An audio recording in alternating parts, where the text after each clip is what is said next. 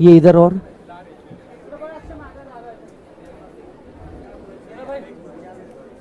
आ रही यहाँ पे भी आ जाएगा डोंट वरी मैं नहीं चालू कर रहा, जब तक कि एडजस्ट ना हो जाए टेंशन मत लो।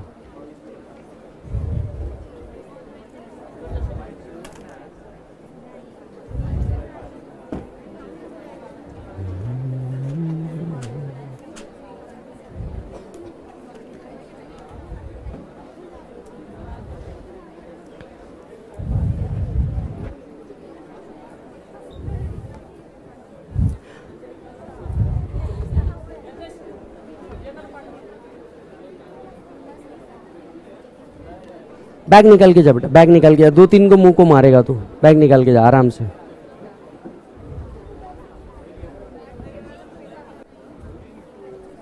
गाइस सबसे पहली बात तो thank you so much to all of you एक मिनट एक मिनट एक मिनट। सबसे पहली बात तो thank you so much to all of you for बहुत सारा प्यार। दूसरा एक दो दिन दो, क्योंकि क्या हो रहा है, कल भी हम लोगों ने रिक्वेस्ट किया, बहुत सारे क्लासेस को रिक्वेस्ट किया is it possible for another bigger space इसी के लिए अगर आप लोगों में से बहुत सारे लोग गए भी होंगे तो आपने देखा होगा दैट डायरेक्ट ऑफ़िस में बोला होगा their admission is close so just just give us one और टू डेज़ कुछ और भी अरेंजमेंट्स कर रहे हैं। एक दो दिन की शायद तकलीफ़ हो सकती है, और मैं ये समझ सकता हूँ बहुत अच्छे से, क्योंकि मैं खुद इस प्रोसेस से गया हुआ हूँ राइट बट नुकसान किसी का नहीं होने दूँगा, इस बात की गारंटी मैं देता हूँ। भले ही मेरे को और एक बार वापस पढ़ाना पड़ जाए, बट वो तकलीफ़ नहीं होने दूँगा। इस बात का गारंटी है। चालू करेंगे। ऑनलाइन सब क्लियर है मालिक। जल्दी से बताओ ऑनलाइन सबका सब क्लियर है क्या? भाई, ये एसी चालू कर। ये भी और पीछे के सारे। चलो। सो लेट स्टार्ट हो गया? डन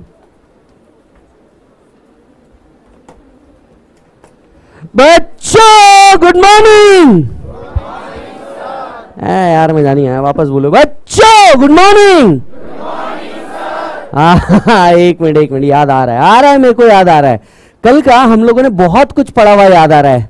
चलिए सबसे पहले याद करते हैं अगर आपको याद हो तो हमको चार वर्ड पढ़ने थे इनकम टैक्स एक्ट 1961 अगर किसी बच्चे का पहला दिन है तो बेटा बुरा नहीं मानना आप लोगों ने कल का लेक्चर ज़रूर देखना। ठीक है? अच्छा इनकम टैक्स एक्ट 1961 हमें चार वर्ड पढ़ने थे, लेकिन ऐसे ऐसा कहा गया है कि कल हम सिर्फ़ एक ही शब्द पढ़ पाए। याद है ना? कल हम सिर्फ़ एक ही शब्द पढ़ पाए, वो शब्द का नाम था एक्ट यस चलिए, शुरुआत करते हैं वापस से। तो साल था वो, जिस साल में उस व्यक्ति ने वो लेके आया था। 1860 sir James Wilson is he also called as father of income tax yes अच्छा लेकिन ये हाँ हाँ परमानेंटली ला लिया था। बराबर बराबर। हाँ परमानेंटली लाया था। पाँच साल के लिए। अच्छा लाया क्यों था? क्या रिकवर करना था हम लोग हमको कॉस्ट रिकवर करना था। किसकी कॉस्ट रिकवर करना था? वॉर की कॉस्ट रिकवर करना था। आहो। इसके बाद में 1886 में क्या दोबारा एक और बार इंट्रोड्यूस किया गया था? अगेन ऑब्जेक्टिव क्या था? वॉर का कॉस्ट रिकवर करना है। इसके बाद अगर आपको याद हो तो 1919 में government of India act pass हुआ था। यस और नो फिर 1919 में government of India act pass होने के बाद में सेंट्रल बोर्ड ऑफ़ रेवेन्यू भी बना था, अगर मुझे याद है तो। 1922 में पहली बार वो आया था। हाँ इनकम टैक्स एक्ट पहली बार 1922 में आया था। इसके बाद हमें मिली आज़ादी, और आज़ादी के बाद हमने पहली बार इस एक्ट को चेंज करके आज के स्वरूप में लेकर के आया। We called it as income tax act 1961 act आया 61 में। रूल्स आए। ऐसा? इस सवाल का जवाब हमें कल भी नहीं मिला था। आज ढूंढते शायद मिल जाए। पर आपको पता है, मैं एवरेज बच्चा हूँ, जब तक एक एक वर्ड ढूंढूँगा नहीं, शायद आगे नहीं बढ़ पाऊँगा। फिर यहाँ से हम आगे निकले थे, यहाँ से हम आगे निकले थे। मुझे बताया गया था एक्ट और रूल्स सेम होते हैं। बोलो हाँ। देखो, मैं कह रहा हूँ, तुम नए नए आए हो एक्ट और रूल सेम होते हैं। मैं कह रहा हूँ, मान लो act contains while rules contain right तो act contain provision of law rules contain हाँ तो बस एक्ट समझ आ जाएगा, ये दो चीज़ पढ़ लो, और कुछ पढ़ने की ज़रूरत नहीं। अरे, मैं कह रहा हूँ, बस ये दो चीज़ पढ़ लो, और कुछ पढ़ने की ज़रूरत नहीं। और भी कुछ पढ़ना पड़ेगा? अरे, वो पढ़ते पढ़ने हाँ नोटिफिकेशन नोटिफिकेशन इशू करता है सेंट्रल गवर्नमेंट हाँ हाँ आ रहा फेसबुक नोटिफिकेशन इशू कर रहा है। कौन इशू कर रहा है मालिक? सीबीडीटी तो CBDT issue the notification all notification six months before exam are applicable से यस और नो अच्छा एक और बात आ रही है। आ रही है, आ रही है, मेरे ध्यान में आ रही है। Circular is clarification of any doubt is circular mandatory on department circular is not mandatory on bravo अच्छा मुझे एक बात बताइए। All circular six months before exam are applicable अच्छा जी यानी अगर जब भी मुझे इनकम टैक्स पढ़ना होगा मुझे एक्ट पढ़ना होगा मुझे रूल्स पढ़ना होगा मुझे नोटिफिकेशन पढ़ना होगा मुझे सर्कुलर पढ़ना होगा मुझे केस लॉ भी पढ़ना होगा? नहीं। नहीं चाहिए। नहीं इधर नहीं। सो so, ये सारी चीज़ें पढ़नी होगी। अच्छा एक मिनट हाँ एक मिनट आ रहा है आ रहा है मुझे याद आ रहा है। आ रहा है आ रहा है मुझे बहुत ज़ोर से याद आ रहा है। hmm, हाँ जो इनकम टैक्स है ना वो रिग्रेसिव बेसिस पे लगता है। प्रोग्रेसिव बेसिस का मतलब नहीं समझ आ रहा है यार मेरे। ओ higher the income higher the मतलब जितना ज़्यादा मैं कमाऊँगा मैं उतना ज़्यादा टैक्स भरूँगा। ओ अच्छा अच्छा अच्छा अच्छा। हाँ हाँ कल ना मुझे दर्शन सर मिले। दर्शन सर मेरे को बोल रहे थे कि मेरे भाई, मेरे बात सुन, ये जो नोटिफिकेशन है ना, और एक्ट है, अगर कभी दोनों झगड़ गए तो वो बोले एक्ट जीतेंगे। समझाओ उन्हें। वो बोल रहे थे तो एक्ट जीत जाएगा। जीतेगा एक्ट कौन जीतेगा मेरा बच्चा? बहुत बढ़िया, चलो। अच्छा मैं क्या बोल रहा हूँ, मेरी बात एक और सुनो। तीन विंग होते हैं law maker law implementer law interpreter क्या सपने में आता है कि कैसे लॉ बनाना है? या पर्पस रेवेन्यू सेफ्टी ऐसी कुछ चीज़ें भी होती है क्या? इससे। लॉ इंप्लीमेंटर इंप्लीमेंट करता है। इंप्लीमेंटेशन में दिक्कत आई तो नोटिफिकेशन एंड सर्कुलर आता है। अगर कोई पॉइंट पे नोटिफिकेशन सर्कुलर नहीं है और इस पर डिस्प्यूट है तो क्या आ जाता है? केस लॉ यहाँ तक के क्लियर है मालिक? अच्छा। फिर आपको अगर पता हो तो ये अपने भाई के घर पे हमने रेड मारी थी। भाई का नाम क्या था? जीशान के घर पे रेड मारी थी। जब मैंने जीशान के घर पे रेड मारी तो जीशान ने बोला, तुम्हें पता है मैं कौन हूँ? पता है मैं कौन हूँ? किसके घर पर रेड मार रहे हो? क्या हक है तुम्हें? ये हक से कुछ समझ आया था। आर्टिकल 265 पे गए थे बेटा कॉन्स्टिट्यूशन के। यस आर्टिकल 265 आ हा हा हा, क्या शब्द थे? आ हा हा, आ हा, क्या शब्द थे? No taxes can be levied और collected except by authority of law फिर एक बार मेरे साथ कहिएगा no taxes can be levied और collected except by authority of law यानी जब तक के कोई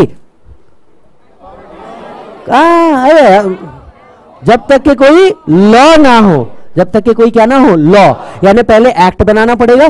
कोई अथॉरिटी रहेगी जो इस एक्ट को पास करेगी, तब जाके या तो कुछ लगा पाओगे, या तो कुछ कलेक्ट कर पाओगे। क्या? टैक्सेस बराबर है? तभी जाके कुछ लगा पाओगे या कलेक्ट कर पाओगे? क्या? टैक्सेस बराबर है ना? तो लॉ होना चाहिए मतलब कोई एक्ट के बगैर। तो रात में आठ बजे देश के प्रधानमंत्री जी कहते हैं, भाई और बहनों, रात आठ बजे से मैं यंग टैक्स लगाऊँगा। ऐसा पॉसिबल है? पॉसिबल ही नहीं है। चलिए, इसके बाद दूसरी बात करते हैं, दूसरी बात करते हैं। No taxes can be levied levied मतलब लगाना? कलेक्ट मतलब सिर्फ़ कलेक्शन या रिकवरी भी होता है? प्यार से दे दिया तो? नहीं तो? बहुत बढ़िया बच्चे। इसके बाद हम लोगों ने देखा था no taxes can be levied और collected except by authority of law तो अथॉरिटी हाँ मुझे याद आ रहा है, आ रहा है, आ रहा है, मुझे याद आ रहा है। अथॉरिटी मतलब क्या, मेरा बच्चा? अरे अथॉरिटी मतलब अगर पार्लियामेंट सेशन में है तो पार्लियामेंट सेशन में नहीं है तो? याद आया, हमने यहाँ तक का सब कुछ पढ़ लिया था। यहाँ तक का सब कुछ क्लियर है मालिक। आर्टिकल 245 भी पढ़ लिया था आर्टिकल 123 भी पढ़ लिया था राइट चलिए प्लीज़ सभी बच्चा मेरे साथ please please please article number 265 पे वापस आए। एक मिनट नहीं नहीं नहीं, ये रिवीजन बाकी है। याद होगा तो ये जो अथॉरिटी दी थी, क्या एक ही व्यक्ति के हाथ में दे दी थी या डिवाइड कर दी थी? हाँ सब कुछ एक के हाथ में नहीं देना बेटा, बहुत लुटता है। समझ रहे हो ना बात? हाँ तो आर्टिकल 246 शेड्यूल सेवन ने कुछ पावर किसके हाथ में दिए? सेंटर कुछ पावर किसके हाथ में दिए? स्टेट और कुछ पावर किसके हाथ में दिए? बोथ के हाथ में दिए राइट हाँ तो इनकम पे टैक्स कलेक्ट करने का पावर स्टेट के पास है। स्टेट के पास है। मैं कह रहा हूँ स्टेट के पास है। सेंटर के पास है, लेकिन एक इनकम पे स्टेट नहीं दे सकता। वो इनकम याद नहीं आ रही। एग्रीकल्चरल इनकम पे वो नहीं दे सकता इज़ इट चलो, बहुत बढ़िया बेटे। यस एग्रीकल्चर पे टैक्स कलेक्ट करने का पावर सेंटर के पास है या स्टेट के पास? चलो तुम जीते। हाँ, हाँ एक मिनट याद आ रहा है आ रहा है मेरे को याद आ रहा है। मुझे ना दर्शन सर कह रहे थे कि टैक्स और ड्यूटी तो सेम चीज़ होती है क्या गलत गलत पढ़ा रहे बच्चे को? मैंने बोला कैसी बात कर रहे हो? Taxes is on other than goods यहाँ पे एलिमेंट सिर्फ़ गुड्स नहीं है. May be goods plus income इसमें गुड्स भी इंक्लूड होगा, पर गुड्स प्लस इनकम या गुड्स और सर्विसेज़ या सर्विसेज़ ओनली यहाँ पे एलिमेंट सिर्फ़ गुड्स नहीं है. और जहाँ पे एलिमेंट सिर्फ़ गुड्स है. उसे हम क्या कह सकते हैं बेटा? ड्यूटी कह सकते हैं. यहाँ तक है ठीक है? चलिए, अब हम दूसरे वर्ड पे भिड़ जाते हैं. आज हम दूसरे वर्ड पे भिड़ जाएँगे टैक्स आज हम दूसरे वर्ड पे भिड़ जाएँगे टैक्स बच्चे, मेरे बच्चे अगर तुम्हें याद हो तो नो टैक्सेस आर्टिकल 265 पे वापस पहुँचे। आर्टिकल 265 पे प्लीज़ वापस जाएँ।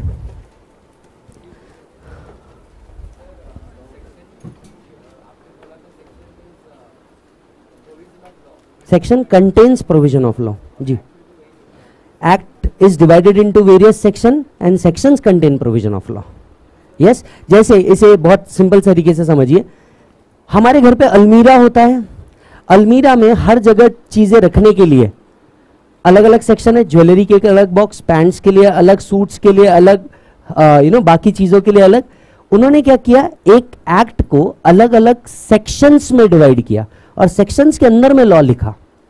So section is divided into various the act is divided into various section and every section contain the provision of law पढ़न ट्रिब्यूनल और tribunal and court, tribunal and court का जो डिवीज़न आएगा, ये आपको लॉ के अंदर में आएगा, क्योंकि उसके पावर्स एंड अथॉरिटीज डिफरेंट है।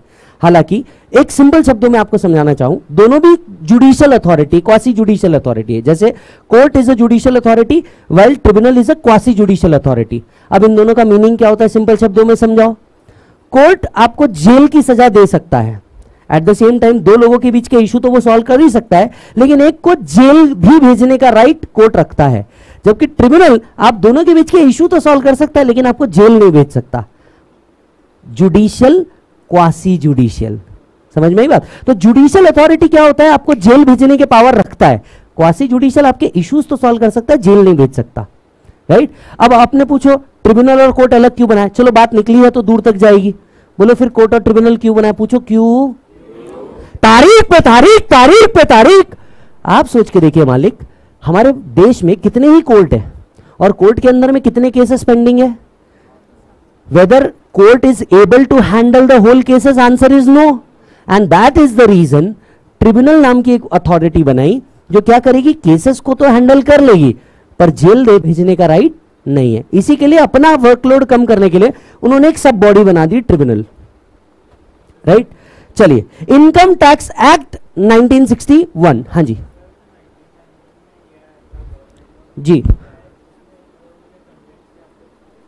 सर 1919 में गवर्नमेंट ऑफ़ इंडिया एक्ट आया था, जिसमें इंडियन गवर्नमेंट से related power you know delegate किए गए थे राइट हालाँकि इसका टैक्स से कोई लेन देन नहीं है, उन्होंने सिर्फ़ गवर्नमेंट ऑफ़ इंडिया एक्ट बनाया था, जिससे इंडियन गवर्नमेंट सेटअप करने के लिए, या इनके यू नो आज जो हमारा पार्लियामेंट्री सेटअप है, इस चीज़ को डेलीनिएट करने के लिए उसको क्या किया गया था? अलग किया गया था।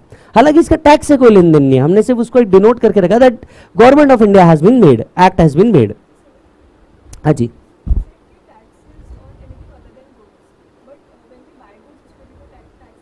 बिल्कुल बराबर है मैडम। बट जब आप गुड्स बाय करती है, इसके ऊपर जो टैक्सेस लग रहे हैं आपको इनडायरेक्ट टैक्सेस लग रहे हैं, जिसका जो क्रेडिट है, ये आपको मिल जाता है। सो लेट्स से आप जब कोई गुड्स बाय करती है तो इस पर S G S T C G S T लग के आता है। So technically it's an indirect tax and not the direct tax yes चलिए, अभी आपके कोई डाउट होंगे तो प्लीज़ लेक्चर के बात कर लीजिए, ताकि मैं कंटेंट को आगे बढ़ा दूँ। बट मैं इधर ही अवेलेबल हूँ don't worry so income tax act 1961 अब हम किस वर्ड पे जा रहे हैं बेटा? टैक्स चलिए टैक्स वर्ड के ऊपर चलते हैं। यही वर्ड आपका पेंडिंग है, शायद कहा मैं आपको बताता हूँ। आर्टिकल 265 देखो।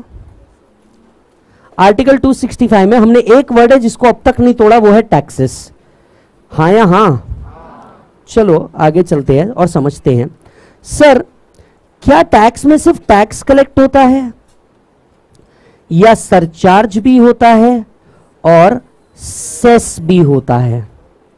प्रैक्टिकली जब हम टैक्स की बात करते हैं तो हम टैक्स और ड्यूटी की भी बात करते हैं। और एट द सेम टाइम हम टैक्स सरचार्ज और सेस की भी बात करते हैं। जब हम टैक्स की बात कर रहे हैं so technically either we mean a direct tax और इनडायरेक्ट टैक्स जब हम टैक्स की बात कर रहे हैं तो एसेंशियली ये डायरेक्ट टैक्स भी हो सकता है इनडायरेक्ट टैक्स भी हो सकता है। बिकॉज़ वहाँ पे वर्ड लिखा था no taxes can be collected और लेविड तो ये डायरेक्ट टैक्स भी हो सकता है इनडायरेक्ट टैक्स भी हो सकता है। ओ हो हो हो। पर आपको तो पता है मैं एवरेज बच्चा हूँ यहाँ से हमें एक, और सवाल मिला। यहाँ से हमें एक और सवाल मिला। टाइप्स ऑफ़ टैक्सेस दो प्रकार के टैक्स होते हैं। एक होता है डायरेक्ट दूसरा होता है इनडायरेक्ट यस और नो अब दोनों के बीच में फ़र्क क्या है? दोनों के बीच में फ़र्क क्या है? चलिए direct tax is paid by person directly direct tax is paid by person directly ये उसकी पर्सनल इनकम पे होने वाला टैक्स है। ये उसकी पर्सनल इनकम पे होने वाला टैक्स है। That is called as a direct tax जबकि indirect taxes is collected from another person and paid to government collected from another person and paid to government let me give you a simple, clear definition. Understand? CA Vijay ने अपने client को charge किए ten lakh rupees बराबर है? CA Vijay ने अपने client को charge किए टेन लाख रुपीस इस टेन लाख रुपीस पे क्या बिल टेन लाख का ही बनता है? आंसर इज़ नो इसके ऊपर वो लोग क्या ऐड करके देते? जीएसटी इसके ऊपर वो क्या ऐड कर देगा? GST goods and services tax right so let say 18 percent के हिसाब से अगर जीएसटी है तो one lakh eighty thousand add हो जाएगा और total eleven lakh eighty thousand का बिल क्या कर देगा? विजय रेज कर देगा। इसे हम कहेंगे इनवॉइस बराबर है? अब मेरी बात को बड़े ध्यान से सुनिएगा। विजय का सर्विस चार्जेस कितना है मेरा बच्चा? Ten lakhs ten lakhs right इस पे जीएसटी एलिमेंट कितना आया? One lakh eighty thousand eighteen percent के हिसाब से सपोज़ करके चलते हैं। So one lakh eighteen thousand का टोटल बिल रेज हुआ। विजय की income one lakh eighty thousand हुई है क्या? विजय की income one lakh eleven lakh eighty thousand हुई है क्या? नहीं। ये one lakh eighty thousand Vijay ने कलेक्ट करके किसको पे करना है?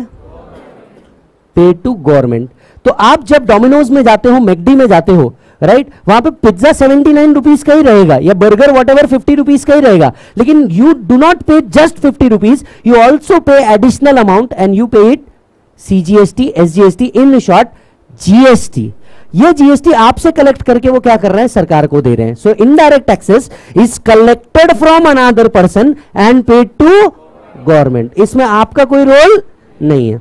अब विजय ने कितने कमाई ये बताओ। विजय ने टेन लाख रुपीस कमाए, लेकिन इस टेन लैक्स में विजय के एक्सपेंसेस हुए लाइक विजय का ऑफ़िस रेंट गया वन लाख रुपीस का सैलरी गया फिफ्टी थाउज़ेंड रुपीज़ का और अदर एक्सपेंसेस गए फिफ्टी थाउज़ेंड रुपीज़ के। मतलब इस टेन लाख को कमाने के लिए Vijay incurred two lakh rupees इस टेन लाख को कमाने के लिए Vijay incurred two lakh rupees you tell me Vijay का इनकम कितना हुआ? अब जरा अपना पी पी एन एल को इमेजिन करके देखो पी एन एल में। सेल्स या रिसीट आएगा? अरे everybody all income are credited वाली बात होती है। सो टेन लाख रुपीज़ इधर चले गए। यस yes, अब आपको दो लाख रुपए डेबिट हो गए, आपका प्रॉफिट कितना बचा? आपको क्या लगता है, विजय की ये पर्सनल इनकम हुई या नहीं हुई? ये एट लाख रुपीज़ पे विजय को क्या देना है? Income tax it is an income which is earned. What is an income? Receipt minus expenses is income. तो अब आप मुझे एक बात बताइए। As far as indirect taxes is concern indirect tax में मेरे जेब से कुछ गया क्या? I have collected it from another person and paid to government. जबकि डायरेक्ट टैक्सेस में, जो कुछ गया वो किसके जेब से गया? मेरे जेब से गया। So direct taxes is a personal tax direct tax is a personal tax जबकि indirect tax is a impersonal tax it is paid by person directly it is collected from another person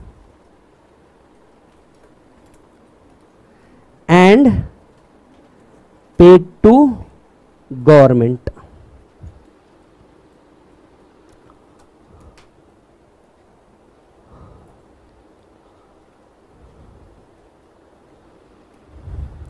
So direct tax is a personal tax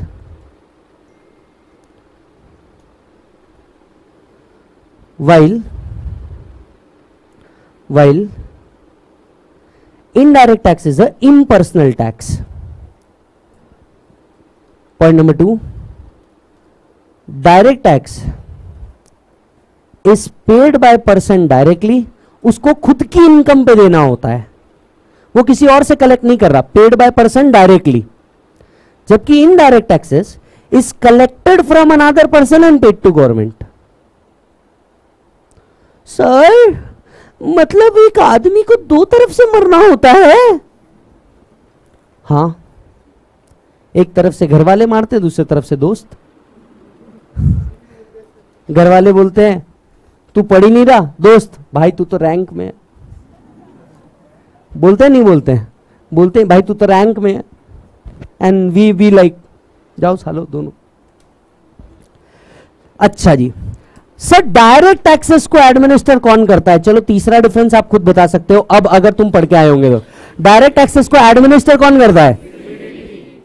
Administered by administered by CBDT और ये बहुत शानदार बच्चे। Administered by CBIC CBEC लिखू या CBIC लिखू? बहुत बढ़िया बच्चा। एक और सवाल मेरे मन में आ रहा है। बहुत ज़ोर से आ रहा है। पूछू क्या? बहुत ज़ोर से आ रहा है। सर सर डायरेक्ट टैक्सेस कितने प्रकार के होते हैं और इनडायरेक्ट टैक्सेस कितने प्रकार के होते हैं? जानने का मन तो कर रहा होगा ना बहुत उछल उछल के। चलिए, मैं हिस्ट्री बताता हूँ। दो मिनट आप पेन नीचे भी रख दोगे तो कोई प्रॉब्लम नहीं। डायरेक्ट टैक्सेस की अगर बात किया जाए तो डायरेक्ट टैक्सेस आप यकीन नहीं मानेंगे, भारत एक ऐसा देश भी रहा है जिसने मरने पे भी टैक्स लिया है। आई रिपीट अगेन भारत एक ऐसा देश रहा है जिसने मरने पर भी टैक्स लिया है। इतो सा भी नहीं समझ आया ना मैं क्या बोल रहा हूँ? आखिर मरने पे कोई कैसे टैक्स ले सकता है? है ना? सुनिए। और देगा कौन? हाँ वो तो चले गया।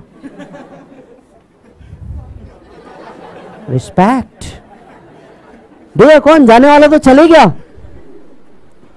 आओ, बताता हूँ। आपको पता है, हमेशा से भारत को कहा गया है, सोने की चिड़िया। क्यों कहा गया है? क्योंकि यहाँ का हर व्यक्ति अमीर हुआ करता था। खैर, मैं तो हमेशा कहता हूँ कॉमर्स स्टूडेंट नवाब होता है साहब। कॉमर्स स्टूडेंट क्या होता है? नवाब, पूछो कैसे? जेब में एक रुपया नहीं होता, पर पहली एंट्री पास करता है capital introduce one lakh rupees किसने लाया? कहाँ से लाया? किसको दिया? कुछ है नहीं। वो है ना कुछ नहीं करोगे तुम मुन्ना। डेबिट में ये डालोगे और क्रेडिट में ये डालोगे। तुमने भी वही किया। एक लाख रुपए की जब पहली एंट्री याद करो, पहली बार जब अकाउंट्स तुमने पढ़ा था capital introduce one lakh I think सबने वन लाख इंट्रोड्यूस किया था। कहाँ से आए? नवाबी समझ रहे हो? नवाबी समझ रहे हो अपनी? पैसे ऐसे है नहीं, एक लाख रुपए ला लिए, कहाँ से? नाउ डायरेक्ट एक्सेस के कई प्रकार थे। There are many types of direct taxes पहला हुआ करता था इनकम टैक्स। पहला हुआ करता था इनकम टैक्स, जो आज भी है, जो आज भी है, बरकरार है, चल रहा है। एक टैक्स हुआ करता था एस्टेट ड्यूटी। कौन सा टैक्स हुआ करता था? Estate duty. It was a draconian tax actually it was a draconian tax ये टैक्स मरने पे हुआ करता था। एंड बिलीव में मेरे अलावा तुमको ये कोई बताएगा नहीं। मरने पे टैक्स हुआ करता था। पूछो कैसे? देखिए, होता यह था कि आदमी ने पैसे, पैसा कमाया। जैसे सपोज़ एक्स ने पैसा कमाया, वो इनकम टैक्स भरता था। अब इनकम कमाने के बाद, वो क्या करता था? अब ये इनकम को करेगा क्या? मेरे बात समझना राइट आदमी सोचता है कि यार, पैसा कमाओ पैसा कमाओ पैसा कमाओ। इस चक्कर में कई बार वो यू नो अपना जीवन साथी ढूंढना भूल जाता है। जैसे यहाँ पे कई लोग होंगे, हनुमान जी की जय। बात समझना, बराबर बजरंग बली के भक्त होंगे साहब। समझ रहे हो मेरी बात को? राइट अब बेचारे ये लोग इतने मशगूल होते हैं अपनी चीज़ों में राइट कि इनको बाकी चीज़ों का टाइम ही नहीं मिलता अपॉर्चुनिटी नहीं मिलती। कुछ को टाइम नहीं मिलता, कुछ को अपॉर्चुनिटी नहीं मिलती। अब ये बेचारे पैसे तो कमा लेते हैं, ये करेंगे क्या पैसे का ये बताओ? भैया every king needs a queen ना कि किसी पे उड़ा सके। आप बात समझ रहे हो, नहीं समझ रहे हो मेरी? इसे शायरी से कहना चाहूँगा, जरा गौर से सुनना। हाँ आज तुम सही मूड में आ रहे हो। कि हर उम्र में होते हैं शौक जुदा जुदा। हर उम्र में होते हैं शौक जुदा जुदा। पहले खिलौने, फिर माशूका, फिर रुतबा और फिर खुदा खुदा। चार अलग अलग एलिमेंट है साहब लाइफ के। पहले किस लिए लड़ रहे थे? पहले किस लिए लड़ रहे थे? राइट लड़के, मुझे बार भी चाहिए। करना क्या था? पता नहीं था उसके साथ।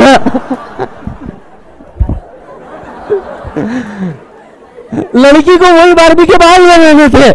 लड़की को उसके साथ खेलने थे। करना क्या था? समझ किसी को नहीं रहा था। पहले खिलौने, फिर माशूका। आप जिस टाइम में हो ना, माशूका चाहिए। समझ आ रही है बात? राइट एक है रुतबा। अब चाहिए, भाई को चाहिए फुल इज़्ज़त। समझ आ रही है बात? अब हम वो मुन्ना नहीं रहे जो पिलपिलाया करते थे। अब भाई को चाहिए फुल इज़्ज़त। अब चौथा, सब मोह माया है। अपने दादाजी वाली कैटेगरी क्या करते रहते जीवन में इतनी भाग दौड़ सुबह सात बजे से? आराम करो, भगवान का नाम लो। हर उम्र में होते हैं शौक, जुदा जुदा। पहले खिलौने, फिर माशुका माशुका मतलब प्यार, जिसको इतनी उर्दू नहीं आती, कोई बात नहीं। फिर रुतबा अब चाहिए एक स्टेटस राइट और फिर खुदा खुदा। तो ठीक उसी तरीके से लोग क्या करते थे? इनकम कमाते थे इनकम पे इनकम टैक्स देते थे। अब ये पैसा जो इनकम से आ गया, इससे ये क्या करते थे? यॉट खरीदते थे हेलीकॉप्टर्स खरीदते थे बिल्डिंग्स खरीदते थे ज्वेलरीज खरीदते थे राइट डायमंड के नेकलेस खरीदते थे एटसेट्रा एटसेट्रा इसके ऊपर सरकार लगा देती थी वेल्थ टैक्स आपने इनकम कमाई, इनकम से अब वेल्थ जनरेट करी, अब इसके ऊपर लग गया वेल्थ टैक्स आपको नहीं लग रहा? सेम इनकम दो बार टैक्स हो गई है। पहले तो मैंने इनकम कमाई, मैंने इसके ऊपर इनकम टैक्स दे दिया। अब जब ये इनकम कमाई, इससे वेल्थ बनाई। अगर तुम्हारे पास वेल्थ ट्वेंटी लाख रुपीज़ से ऊपर की होती थी तो तुम्हारे ऊपर वेल्थ टैक्स भी लगता था। बराबर है? जीवन भर इस आदमी ने अपनी ऐसी तैसी कराई।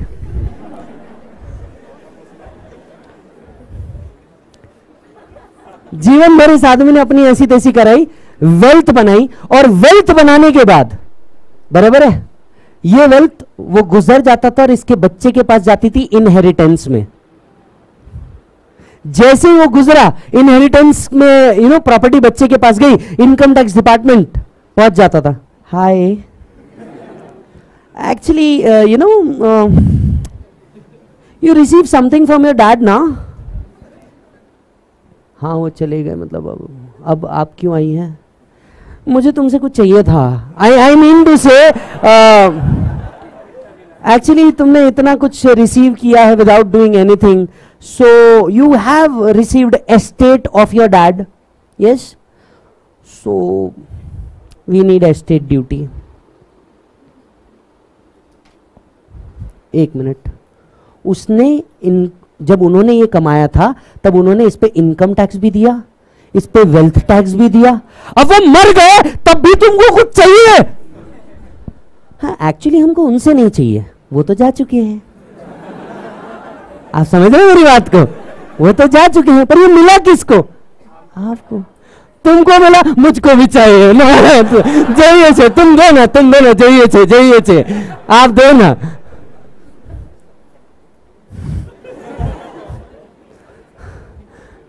आप समझ रहे हो प्रॉब्लम क्या था देश के साथ? इस इस तरह के ड्रेकोनियन टैक्स ने भारत को बहुत लूटा है। आदमी आता था, पहले इनकम कमाता था, वो इनकम टैक्स देता था।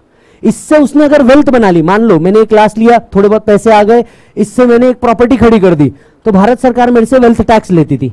मेरे जाने के बाद ये प्रॉपर्टी अगर बच्चे के पास चले गए तो जिसके पास गई, उससे वेल्थ उससे क्या लेते थे? एस्टेट ड्यूटी मरने पे भी टैक्स था इधर जीवन में। समझ आ रही है बात? और चौथा, एक और टैक्स हुआ करता था। मान लो, यही चीज़ किसी ने किसी को गिफ्ट में दे दी राइट मेरे बाबू ने छोना ने खाना खाया राइट तो यू नो ये कहने के अलावा कोई गिफ्ट में भी कुछ दे दिया तो इसके ऊपर क्या लग जाता था? गिफ्ट टैक्स लड़कियों को ये टैक्स बिल्कुल पसंद नहीं था। लड़कों को तो मिलता ही नहीं था। भाषा में लड़कों को तो मिलता ही नहीं था। तो लड़कों को इस टैक्स से उतनी तकलीफ़ नहीं थी जितनी लड़कियों को थी। बात समझ रहे हो? सो गिफ्ट टैक्स चार अलग अलग प्रकार के टैक्स हुआ करते थे डायरेक्ट टैक्सेस के अंदर में। Over the period of time सरकार को समझ में आ गया कि हम तो लोगों को बेवकूफ़ बना रहे हैं। क्या बना रहे हैं? हाँ वही जो सम, आपने समझा। क्या बना रहे हैं? बेवकूफ़ बना रहे हैं। अश्लील बातें नहीं करना है बेटा।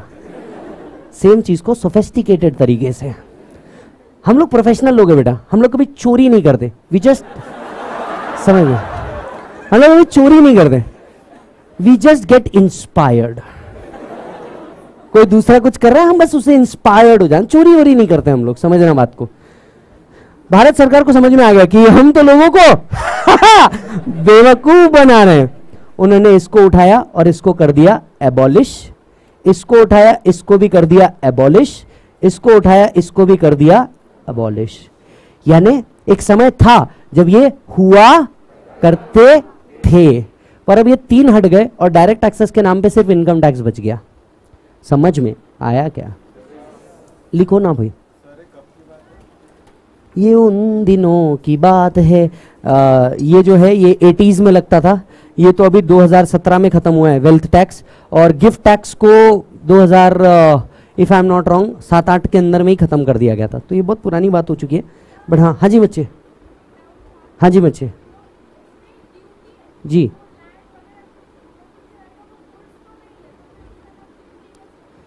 मैम, इसको बहुत स्पेसिफिक चीज़ों पे रखा था जो इनहेरिटेंस के अंदर में आपको एसेट्स मिलते थे, उसी के ऊपर था। तो ये नॉट ऑल ऑन एसेट्स था। बट डोंट यू थिंक अगर कुछ भी हो रहा है तो it was double taxation only एक ही आदमी सौ रुपए को बस अपने अपने तरीके से काट रहा है अलग अलग नाम दे के काट रहा है। हाँ जी बच्चे। नहीं सर, आज इनकम टैक्स लग रहा है।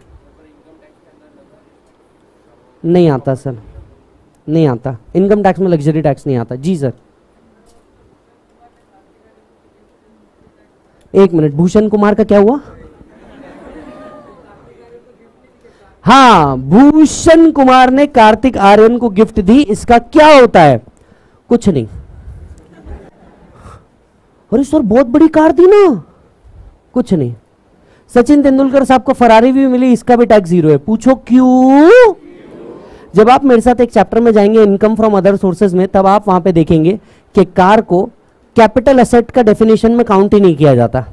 तो कार को जब कैपिटल एसेट के डेफिनेशन में काउंट ही नहीं किया जाता तो रिसीवर के हाथ में टैक्सेबल है ही नहीं। ये उसका लॉजिक है। Section 56 two 10 income from other sources chapter number four एक और चीज़, चलिए मान लीजिए मान लीजिए राइट ये मेरे भाई की नई नई फुंसी आई मीन फियांसी बनी। राइट ये मेरे भाई की नई नई फुंसी फियांसी बनी। इसने जा करके यू नो एक अपना किडनी बेचा, किडनी बेच करके एप्पल आईफोन 14 अपनी फुंसी को गिफ्ट किया आई मीन फियांसी को गिफ्ट किया। क्या फियांस के हाथ में टैक्सेबल होना चाहिए? हाँ या ना? Answer is no mobile is again not covered in the definition of capital asset again chapter आएगा, सारी चीज़ उसके अंदर में आएगी। बट ये सब नहीं आता। हाँ लेकिन यही भाई ने उठा करके एक डायमंड का रिंग दे दिया। This will be subject to tax this will be subject to tax हम इसके आगे कई चीज़ें डिस्कस करेंगे। जैसे कभी सोचा आपके घर पे दिवाली में चांदी के सिक्के की पूजा क्यों होती है? आपके घर में जो मूर्तियाँ हैं, ये चांदी की ही क्यों हैं? सोने की क्यों नहीं? कभी, नहीं नहीं नहीं नहीं, सो, चांदी पे टैक्स नहीं लगता है गलत है। सोना महँगा, ये तो और गलत है। और भी चीज़ सुनो। सर, कभी सोचा कभी सोचा कि आपके घर वालों ने आपके घर वाले दिवाली के ऊपर चांदी के सिक्कों का ही पूजा क्यों करते और इसके बाद इसे लाल कपड़ों में डाल के ही क्यों रखा जाता है? कभी सोच के देखिए आपके घर पे पेंटिंग्स है तो आपके घर पे क्या लाल यू you नो know, इतने आर्ट लवर है लोग? इसके पीछे बहुत सारे लॉजिक्स है। और ये लॉजिक हम लोग एक चैप्टर में देखेंगे कॉल्ड कैपिटल गेन आपको समझ में आएगा कि आपके घर वाले आपको कितना बेवकूफ़ बना रहे हैं। कभी आपने सोचा आपके घर पे एक ना एक बर्तन चांदी का ज़रूर होगा। चांदी का ही क्यों? बहुत कुछ सीखना है बेटा जीवन में। बहुत कुछ सीखना है। बट डोंट वरी मैं क्या बोल रहा हूँ आपको? बहुत कुछ सीखना है तुमको और बहुत कुछ सीखोगे भी। इस क्लासेस के अंदर में ये सीखोगे, हवाला कैसे होता है? हवाला? हाँ। White to black black to white कैसे होता है? सब आएगा सब आएगा डोंट वरी मैंने आपको कल भी एक ही चीज़ बोली पेशेंस रखो। सिर्फ़ पेशेंस रखो। मेरे को पहले तुम्हारे को ना टैक्स सिखाने दो। फिर तुमको समझाऊँगा इसके साथ रोमांस कैसे करते हैं। कैसे? कैसे जो एम्प्लॉयर से तुम्हारे को यू नो नॉर्मल अलाउंस मिल रहा है, सिर्फ़ इसका नाम बदल दो, ये पुल्ली एग्ज़ाम हो जाएगा। तो ये सारी चीज़ें आएगी। सब्र रख। तुझे सही समय पे सब कुछ मिलेगा। सब्र रख। अरे ऐसे इम्पेशेंट नहीं होते। आएगा। अपना टाइम आएगा। सो डायरेक्ट टैक्सेस के कितने प्रकार थे मेरे बच्चे? जल्दी से बता। चार। Income tax estate duty wealth tax gift tax ले दे के बचा कितना? एक। इनडायरेक्ट टैक्सेस के भी कई प्रकार हुआ करते थे। इनडायरेक्ट टैक्सेस के भी कई प्रकार हुआ करते थे। जैसे एक हुआ करता था एक्साइज आप कोई भी चीज़ मैन्युफैक्चर करते हैं तो इस पे लगता था एक्साइज ड्यूटी मैन्युफैक्चरिंग पे लगता था एक्साइज ड्यूटी राइट उसके बाद होता था कस्टम इसके बाद होता था कस्टम इंपोर्ट एक्सपोर्ट पे आपको क्या लगता है? कस्टम लगता है। इसके बाद होता है वैट एक होता था सर्विस टैक्स बराबर है? एक होता था service tax one nation one tax policy लाने के चक्कर में 2017 में एक, दो, तीन को कट कर दिया और ले दे के जीएसटी कस्टम को रखा। बाकी सारी चीज़ों को कट कर दिया और 2017 के अंदर में उन्होंने जीएसटी एन कस्टम लेकर के आ गए। मतलब आज आप कुछ भी गुड्स बनाते हैं या सर्विसेज़ देते हैं तो इस पे जीएसटी आएगा और कस्टम कस्टम ड्यूटी आएगा इंपोर्ट एंड एक्सपोर्ट पे। यस चलिए, वापस से एक बार कंसेप्ट को रिवाइज करते हैं रिवीजन नंबर टू टैक्सेस से निकले थे हम लोग। दूसरा वर्ड सर्च करने जा रहे हैं आज टैक्सेस दूसरा वर्ड सर्च करने जा रहे हैं मालिक टैक्सेस टैक्सेस कितने प्रकार के होते हैं? बोलो ना। पहला डायरेक्ट दूसरा इनडायरेक्ट डायरेक्ट टैक्स कौन पे करेगा? आप खुद। इनडायरेक्ट टैक्स आप किसी और से कलेक्ट करेंगे और पे करेंगे। एग्ज़ाम्पल हम लोगों ने देखा था, लिखने की ज़रूरत नहीं है, तुमको ऑटोमेटिकली आएगा। रुकना। जो चीज़ नहीं लिखनी है, उस पर टाइम पास मत करो अभी। जैसे एक दस लाख रुपए का विजय ने बिल चार्ज किया, इस पर अठारह परसेंट का जीएसटी चार्ज किया टोटल बिल हुआ इलेवन लाख एटी थाउज़ेंड ये वन लाख एटी थाउज़ेंड जो उसने दूसरों से कलेक्ट किया दैट सर्विसेज़ के ऊपर टैक्स और ये वो लेगा और गवर्नमेंट को दे देगा। डायरेक्ट हुआ या इनडायरेक्ट हुआ? इनडायरेक्ट आपने दूसरे से कलेक्ट किया और गवर्नमेंट को दे दिया। आप खुद की इनकम पे जो टैक्स कमाया है वो भी आपको देना पड़ेगा। इस दस लाख रुपए को कमाने के लिए आपने दो लाख रुपए के एक्सपेंसेस इनकर किए। नेट इनकम कितनी हुई? एट लाख सो इस एट लाख पे आप क्या पे करोगे? इनकम टैक्स समझ में आ रही बात? अच्छा जी। चलिए डायरेक्ट टैक्स इनडायरेक्ट टैक्स वापस आते हैं ऊपर। क्या टैक्स में सिर्फ़ टैक्स ही होता है? नहीं। टैक्स में डायरेक्ट भी हो सकता है या इनडायरेक्ट भी हो? इसके ऊपर लगता है सरचार्ज यहाँ पे, यहाँ से निकले थे भाई साहब हम एवरीबॉडी यस और नो अब यहाँ से हम आगे बढ़ते हैं सरचार्ज की ओर। किसकी ओर? सरचार्ज की ओर। एनी आइडिया सरचार्ज क्या होता है? रफ आइडिया मेरे को सही जवाब नहीं चाहिए। टैक्स ऑन टैक्स तो ये तो डबल टैक्स हो जाएगा ना? ये तो डबल टैक्स हो जाएगा। क्या ये सही है डबल टैक्स होना? ओके हाँ जी। स्पेसिफिक अमाउंट के ऊपर गया तो टैक्स लगता है। बिल्कुल सही। इसे हम सरचार्ज कहते हैं। एक संवाद सुनिएगा। संवाद सही समझ में आया तो दो मिनट में क्लिक कर जाएगा कॉन्सेप्ट क्या है। पढ़ाने का तरीका बस डिफरेंट है। ध्यान से सुनिएगा। तो बात है उन दिनों की। बात है उन दिनों की जब ये मैम आपका नाम क्या है बच्चे? Shriya.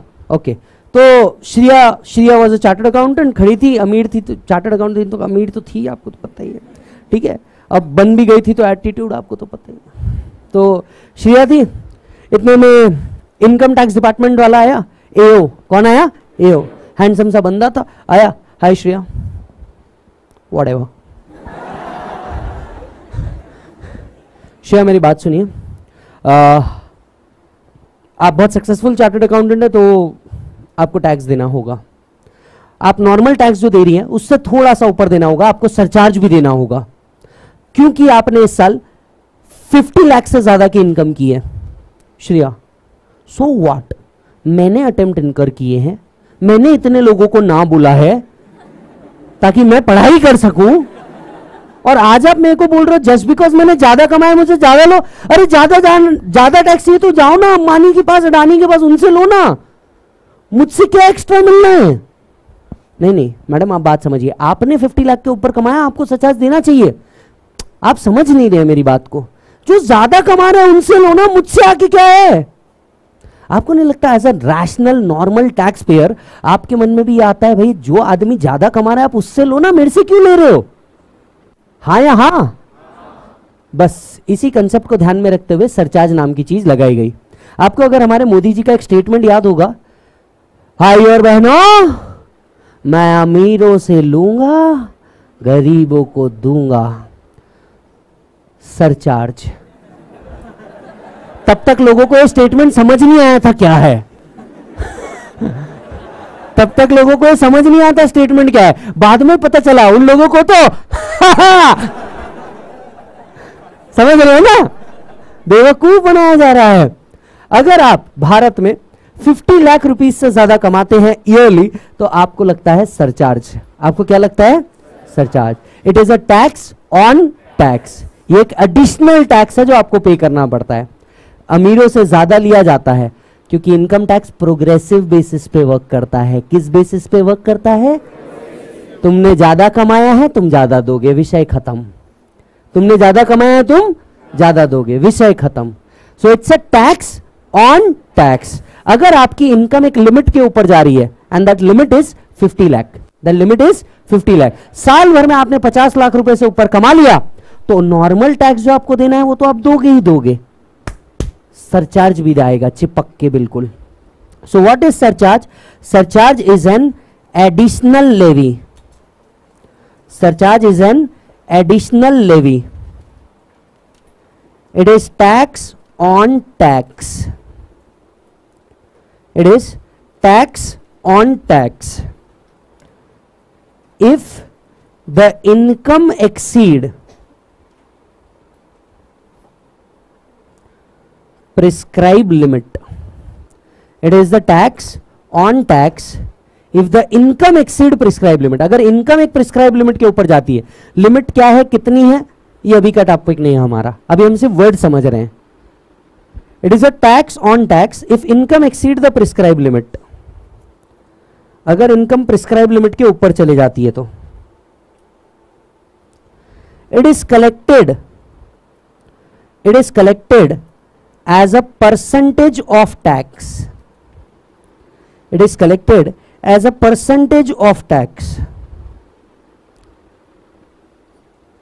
It is collected as a percentage of tax. बराबर है अच्छा सर मुझे एक और सवाल आ रहा है सर मुझे एक और सवाल आ रहा है सर ये जो सरचार्ज कलेक्ट किया जाता है ये कहा जाता है? ये जो टैक्स कलेक्ट किया जाता है, ये कहा जाता है? क्या आपको पता है? जो आप टैक्स कलेक्ट करते हो it forms part of C F I consolidated fund of India direct taxes से जितना भी पैसा कलेक्ट हुआ, ये सब कहाँ पहुँचता है?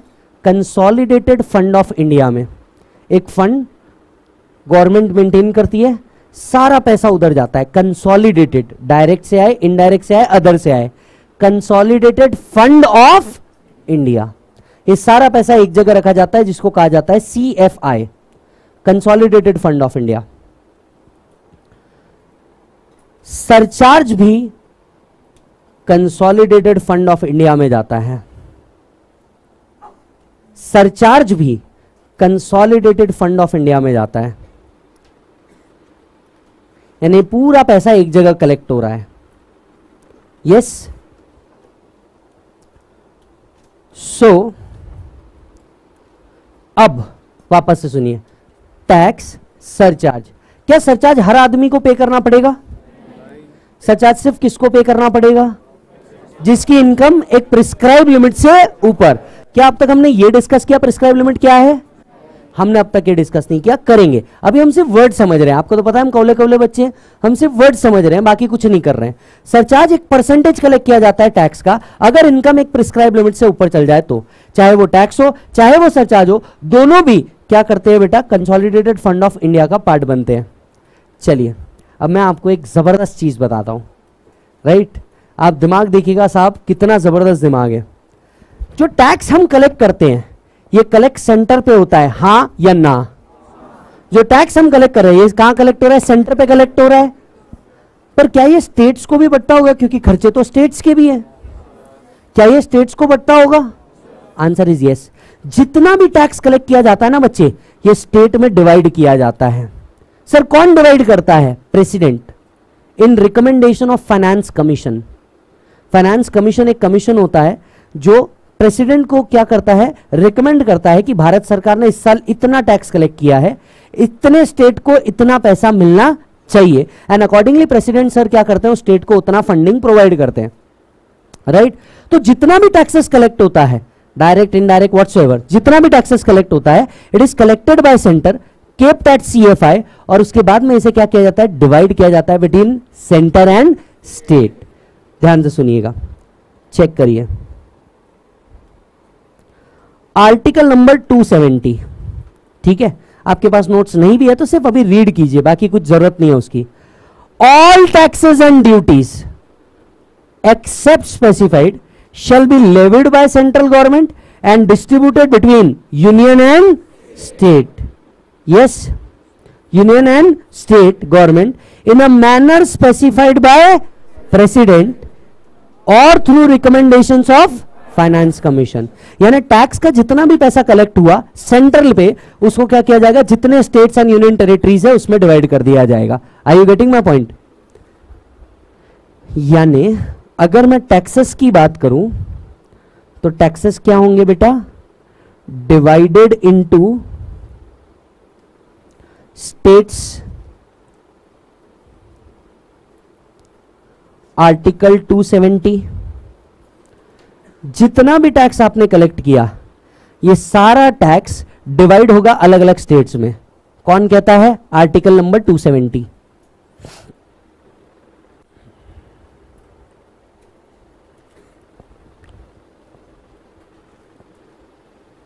डन है? अब देखिए, वापस से 2015 का मोदी जी का स्पीच सुनाता हूँ। वापस से 2015 का मोदी जी का स्पीच सुनाता हूँ। स्पीच है भाई और बहनों, मैं अमीरों से लूँगा, गरीबों को दूँगा। तब तक से एक स्टेटमेंट किसी को समझ नहीं आया कि एग्जैक्टली exactly वो बोल क्या रहे हैं। उन्होंने सरचार्ज तो लेके आ गया। लेकिन दिमाग देखिए साहब, दिमाग देखिए। भारत सरकार ने क्या किया आपको पता है? 2015 के बाद they have not increase the tax rate they have increase the surcharge ask me why पूछो ना, क्यों? टैक्सेस जो आते हैं, ये स्टेट में डिवाइड किए जाते हैं। सरचार्ज जो आता है, ये सिर्फ़ यूनियन रखता है। अब जो आज आपको इतनी स्कीम दिख रही है ना, कि आपको कोविड के अंदर में बूस्टर डोज लगे फ्री में, और फ्री में कैसे लगे? फ्री में कैसे लगे? एक मिनट, अगर आप देखोगे तो उस पर सिर्फ़ मोदी जी का फ़ोटो था, सर्टिफिकेट पे। आप अगर देखोगे तो इन्होंने इतनी सारी स्कीम निकाली। Swachh Bharat scheme mid day meal scheme और अलग अलग तरीके की स्कीम निकाली। इन स्कीम के लिए पैसा आ कहाँ से रहा है? आपको लग रहा है सारी स्कीम मोदी जी ने निकाली है? सही है, उन्होंने निकाली, लेकिन उन्होंने दिमाग लगाया। उन्होंने क्या किया? टैक्सेस नहीं बढ़ाए। क्योंकि टैक्सेस अगर बढ़ा देते तो उन स्टेट्स को भी पैसा चल जाता जिसमें शायद उनकी सरकार है ही नहीं। उन्होंने बोला, कंट्रोल चाहिए भाई के हाथ में। उन्होंने बोला, पैसा चाहिए सेंटर पे। उन्होंने गेम खेला टैक्सेस के साथ नहीं, उन्होंने गेम खेला सरचार्ज के साथ। और सरचार्ज को सिर्फ़ अपने हाथ में रखा और अब दुनिया भर की स्कीम्स लॉन्च करी। अपने को क्या दिख रहा है? मोदी जी ने काम किया। काम ज़रूर किया और दिमाग भी लगाया, जो शायद इसके पहले किसी यू नो प्राइम मिनिस्टर ने नहीं लगाया। उन्होंने टैक्स के साथ नहीं खेला। उन्होंने बोला, अमीरों से लेना है ना। ये लूँगा और मैं रखूँगा, मेरे हाथ में इसको यूज़ कैसे करना है वो मैं डिसाइड करूँगा। अटल पेंशन योजना। लॉन्च कर दी स्कीम साहब, आप मैं देख रहे हैं। बात समझो, इतना सारा कोविड बूस्टर के लिए 130 करोड़ लोगों को दनादन डोज लगाए। मैं ला करके दूँगा, टेंशन मत लो। दनादन डोज लगे। भाई, पर पैसा कहाँ पड़ा रहा? सेंटर पे, स्टेट के हाथ में गए नहीं, क्योंकि टैक्सेस होता तो आर्टिकल 270 के हिसाब से प्रेसिडेंट सबको डिवाइड करना पड़ता, स्टेट्स के अंदर में। यस लेकिन उन्होंने क्या किया? उन्होंने सरचार्ज को इंक्रीज कर दिया। आपको पता है, सिर्फ़ एक ग्लिम्स दे रहा हूँ डिस्कस आगे करूँगा। 50 लाख के ऊपर गया सरचार्ज 10 परसेंट एक करोड़ के ऊपर गया सरचार्ज 15 परसेंट दो करोड़ के ऊपर गया सरचार्ज 25 परसेंट पाँच करोड़ के ऊपर कमाया सरचार्ज 37 परसेंट एक मिनट, आप समझ नहीं रहे हैं अभी तक। ये over and about tax rate है। मतलब अगर विजय की इनकम खुदा न करे कभी पाँच करोड़ के ऊपर चले गई, ठीक है? खैर, जो तुम ऑलरेडी कैलकुलेट कर चुके हो, अगर विजय की इनकम पाँच करोड़ है तो आपको सिर्फ़ इनकम दिख रही है। पर जो आपको नहीं दिख रहा है, वो ये है कि विजय का तीस परसेंट टैक्स है तीस परसेंट पे थर्टी सेवन परसेंट सरचार्ज है, प्लस चार परसेंट का सेस है। I said cess.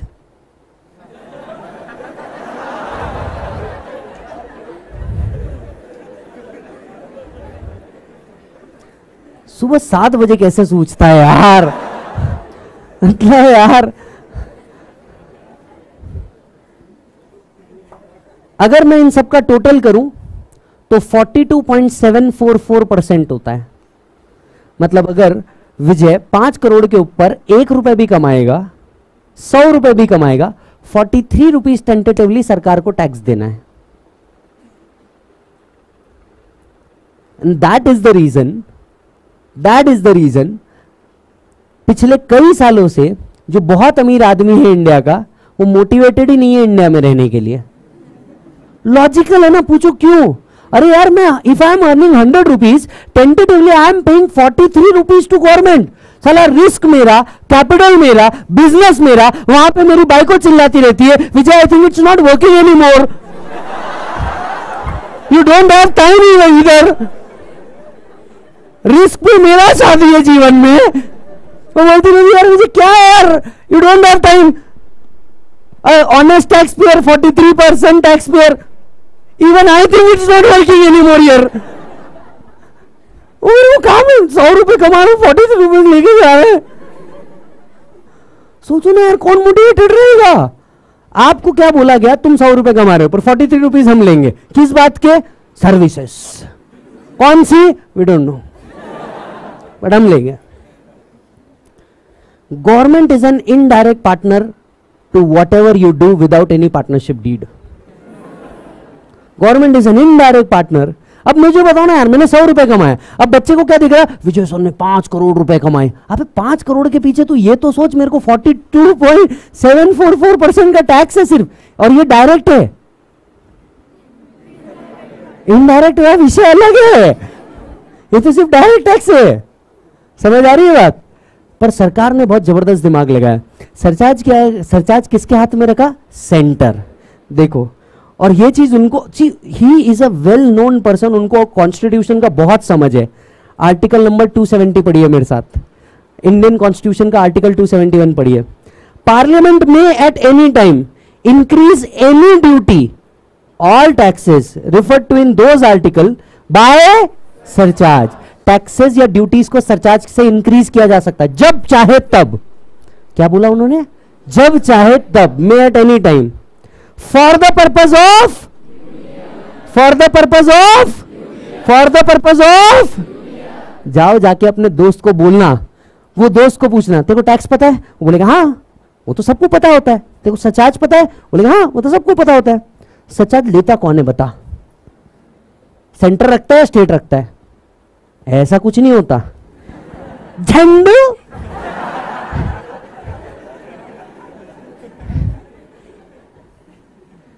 यूनियन रखता है।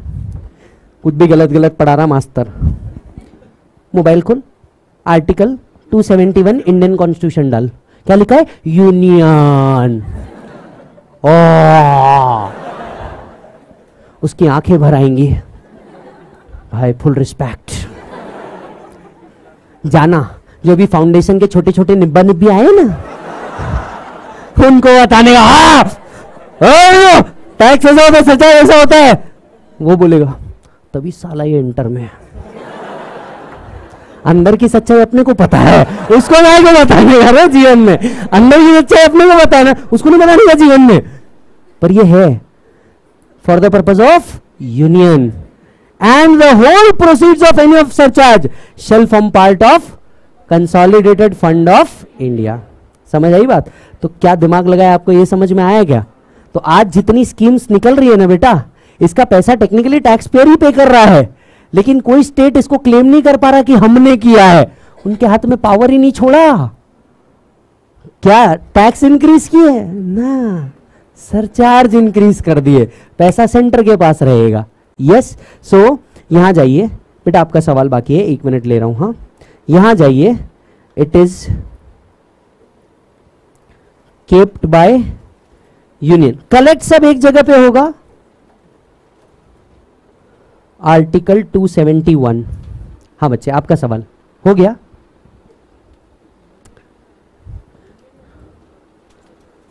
मेरे भाई ने एक बहुत ज़बरदस्त सवाल पूछा है, यूनियन या सेंट्रल गवर्नमेंट आई गेस कल हमने इसका रिप्लाई किया भी था।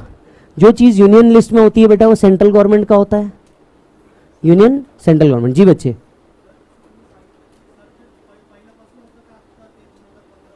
सर पहिला पासून होता कि आज आला? जो, जिनको मराठी नहीं आती ऑनलाइन क्राउड वो सुनिए। सरचार्ज पहले से था कि अभी आया? सरचार्ज पहले से एग्जिस्ट करता था। Right right? पहले लेकिन सरचार्ज सिर्फ़ एक था। If the income exceed one crore rupees then and only then there was surcharge and surcharge was only one percent that is that was only ten percent only one percentage was given in terms of numbers Modi ji ने आने के बाद इसको चार कर दिया। पचास लाख से ऊपर कमाया, एक करोड़ से ऊपर कमाया, दो करोड़ से ऊपर कमाया, पाँच करोड़ से ऊपर कमाया। तो इनको अलग अलग कर दिया। ज़्यादा कमाओगे, ज़्यादा पे करके जाना पड़ेगा। खत्म विषय। मज़ा आया, नहीं आया? चलो, वापस से। क्या टैक्स में सिर्फ़ टैक्स होता है? ना। जब टैक्स होता है और आपकी इनकम अगर एक लिमिट के ऊपर जाएगी, आपको एक और चीज़ देनी पड़ेगी। क्या बेटा? सरचार्ज। फिर आता है cess. C E S S cess. Cess क्या होता है? एडिशनल लेवी सर मतलब आदमी तो जीवन टैक्स पे कर करके ही मर जाए। एडिशनल लेवी ये एक और चीज़ है जो लगाई जाती है। इसके लिए कोई सेपरेट आर्टिकल नहीं दिया हुआ है। इसके लिए कोई सेपरेट आर्टिकल नहीं दिया हुआ है। इनफैक्ट गवर्नमेंट का एक राइट है कि वो किसी भी पर्पस के लिए इसे कलेक्ट किया जा सकता है। लेकिन एक बात ध्यान से सुनिए। आप टैक्स जो कलेक्ट कर रहे हो, सरकार इसे किसी भी पर्पस के लिए यूज़ कर सकती मे बी डिफेंस वालों का सैलरी देना इनकम टैक्स डिपार्टमेंट वालों का सैलरी देना यू you नो know, कोई स्कीम निकाल देना। जो सरचार्ज आ रहा है इसी भी किसी भी पर्पज के लिए यूज़ किया जा सकता है। यू नो आर्म्स एमिनेशन खरीद लेना रोड डैम ब्रिज के कॉन्ट्रैक्ट निकाल लेना एनीथिंग सेस एक ऐसी चीज़ है जिसे स्पेसिफिक पर्पस के लिए ही यूज़ किया जा सकता है। सरकार कुछ स्पेसिफिक पर्पस को पूरा करने के लिए क्या लेके आती है बेटा? Cess yes to for specific purpose सरकार को कुछ स्पेसिफिक पर्पस जब पूरा करना होता है तो क्या लेके आती है सरकार? सेस लेके आती है। सर, आज इसका नाम है H E C today we call it as health and education cess आज हम इस सेस को नाम देते हैं health and education cess H E C ये शॉर्ट फॉर्म आप एग्ज़ाम में लिख सकते हो। H E C health and education cess. Health and education cess कैसे वर्क करता है? ध्यान से सुनिएगा। It is collected as a percentage of tax जो भी आपने टैक्स निकाला है, इसका एक परसेंटेज आपसे कलेक्ट किया जाता है। Current percentage is four percent current percentage is four percent four percent का हेल्थ एंड एजुकेशन सेस। सुनिए, भारत सरकार ने इसका क्या यूज़ किया? इतने सालों से जो सेस का पैसा कलेक्ट हो रहा था, कोविड में आपको तीन शॉट्स लगे, दो नॉर्मल शॉट्स और एक बूस्टर शॉट्स इस बहुत सारे लोगों को इसका एक भी रुपए देना नहीं पड़ा। पर क्या भारत सरकार ने भी ये वैक्सीनेशन फ्री में खरीदा होगा? सोच के देखिए। भारत सरकार ने वैक्सीनेशन फ्री में तो खरीदा नहीं होगा। पैसा कहाँ से आया? सेस। इतने सालों से क्या कर रहे हैं? हेल्थ एंड एजुकेशन के नाम से पैसा कलेक्ट कर रहे हैं। अब आपके हेल्थ पे यूज़ किया जा रहा है। यस दूसरा एजुकेशन सेस आप लोगों ने यू नो रिसेंट टाइम्स में देखा होगा that every school has a mandate कि उनको कुछ लोग जो भले ही फ़ीड अफोर्ड नहीं कर पाएँगे, पर उनको एडमिशन लेना पड़ेगा इन एवरी सेक्शन यस उसके बाद में मिड डे मील स्कीम नाम सुना है? मिड डे मील स्कीम इसके लिए पैसा कहाँ से आ रहा है? यहाँ पे गवर्नमेंट स्कूलों के अंदर में बच्चों को पढ़ाया जा रहा है और उन्हें फ़ूड भी प्रोवाइड किया जा रहा है। तो ये जो पैसा आ रहा है ना, ये आ रहा है health and education cess Sarva Shiksha Abhiyan नाम का एक अभियान सुना है, उसका पैसा भी यहाँ से आ रहा है। तो सरकार को जब दो चीज़ों पे, अब अगर आप देखोगे 2019 में जब वापस से गवर्नमेंट बनाई तो इनकी दो प्रायोरिटी थी हेल्थ एंड एजुकेशन और इसके लिए स्पेसिफिक उन्होंने अलग से पैसा कलेक्ट करना चालू किया health and education cess so it is collected as a percentage of tax tax का एक परसेंटेज सेस के नाम पे लिया जाता है। It is collected as a percentage of tax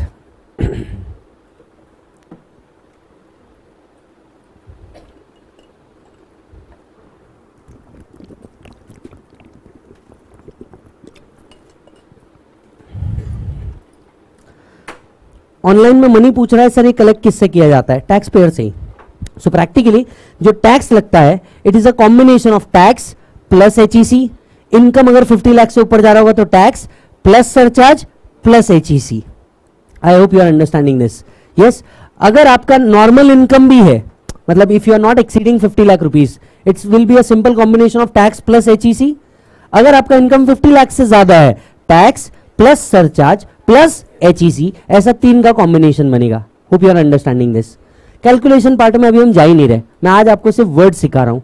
calculation part में हम जा ही नहीं रहे. क्योंकि अब जब तक आप पूरे बेसिक वर्ड्स नहीं समझोगे कि ये होता क्या है, होता क्यों है, तब तक इसका कंप्यूटेशन कैसे होता है और इसका एग्ज़ाम्पल क्या है, इस पर अभी जाके कोई मतलब नहीं। आगे एक और वर्ड बाकी है टैक्स उसके अंदर में देखेंगे। जी बच्चे, एक सवाल है आपका।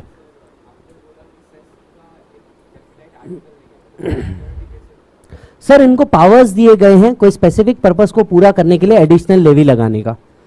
तो जब आप गवर्नमेंट के पावर्स देखते हो तो उसके अंदर में इनको पावर्स है। जैसे इमरजेंसी लाने का एक पावर है राइट ठीक उसी तरीके से कोई स्पेसिफिक पर्पस पूरा करने के लिए कुछ एडिशनल कलेक्शंस करने के भी पावर दिए गए हैं। हालाँकि इसको स्पेसिफिक आर्टिकल मेंशन नहीं किया गया है तो दैट्स ओके एक मिनट हम कहा हैं सर लगता है बड़ी दूर आ गए सर हाँ है ना, बहुत दूर आए हैं। आर्टिकल 265 पे हम। क्या? हाँ जाओ आर्टिकल 265 हम आर्टिकल 265 पे आर्टिकल 265 नो टैक्सेस जब हम टैक्स की बात कर रहे हैं, हम क्या सिर्फ़ टैक्स की बात कर रहे हैं या tax plus surcharge plus H तीनों की बात कर रहे हैं? Surcharge and H are also part of tax तो ना ये इंपोज किया जा सकता है, ना ये कलेक्ट किया जा सकता है जब तक कोई लॉ ना हो और कोई अथॉरिटी से पास ना कर दे। So no taxes can be levied और collected except by authority of law अब ये एक एक वर्ड को पूरा तोड़ डाला हमने राइट right? कल जब हमारे भाई के घर पे हम रेड मारने गए थे, भाई ने एक सवाल पूछा था, क्या तुम्हें हक है मेरे यहाँ आके टैक्स कलेक्ट करने का? जवाब है yes entry number 82 to the union list entry number 82 to the union list ये पावर कहाँ से आया है हमें? पूरा घुमाइए। आर्टिकल 265 कहता है, जब तक कोई लॉ नहीं होगा, कोई अथॉरिटी से पास नहीं करेगा, तब तक के टैक्स नहीं ले पाएँगे। अथॉरिटी मतलब कौन? Article 245 parliament article 123 president yes जितना भी टैक्स कलेक्ट होगा, इसे सेंटर और स्टेट में डिवाइड किया जाएगा आर्टिकल नंबर 270 जितना भी सरचार्ज कलेक्ट किया जाएगा, इसे यूनियन के पास रखा जाएगा आर्टिकल नंबर 271 आया ध्यान में की दुकान में? आया क्या? हाँ। सर टैक्सेस कितने प्रकार के होते हैं? जल्दी से बताइए टैक्सेस कितने प्रकार के होते हैं? कौन कौन से? डायरेक्ट टैक्स एंड पक्की बात, मालिक? देखिए जरा।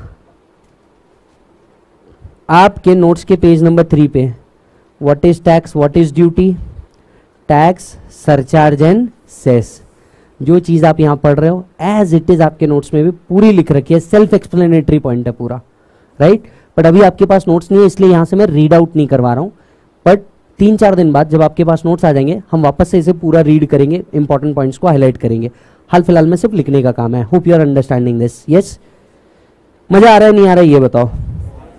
डायरेक्ट एंड इनडायरेक्ट तीनों पॉइंट डिस्कस कर लिए। सर हम है कहा? ओरिजिनली हम दो वर्ड कंप्लीट कर चुके हैं। Out of four word income tax act 1961 इसमें से टैक्स वर्ड को तोड़ताड़ कर दी एक्ट वर्ड को तोड़ताड़ कर दिया अब मैं तीसरे वर्ड पे जा रहा हूँ। आई यू विथ मी 1961 का लॉ लॉ कौन से ईयर का है? 1961 का लॉ सर सर मुझे एक बात बताइए। सर सर सर एक मिनट सर एक मिनट मुझे एक बात बताइए। दो साल पुरानी में शर्ट नहीं पहनता, दो साल पुरानी में गाड़ी नहीं चलाता, दो साल पुरानी में 1961 का लॉ 2022-23 में पढ़ रहा हूँ what is the sense change क्यों नहीं करते ये? With whole same mentality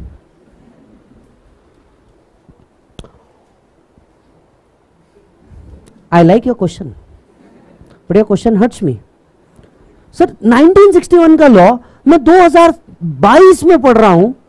ये सवाल आपने कॉन्ट्रैक्ट एक्ट के टाइम पे भी पूछना चाहिए था।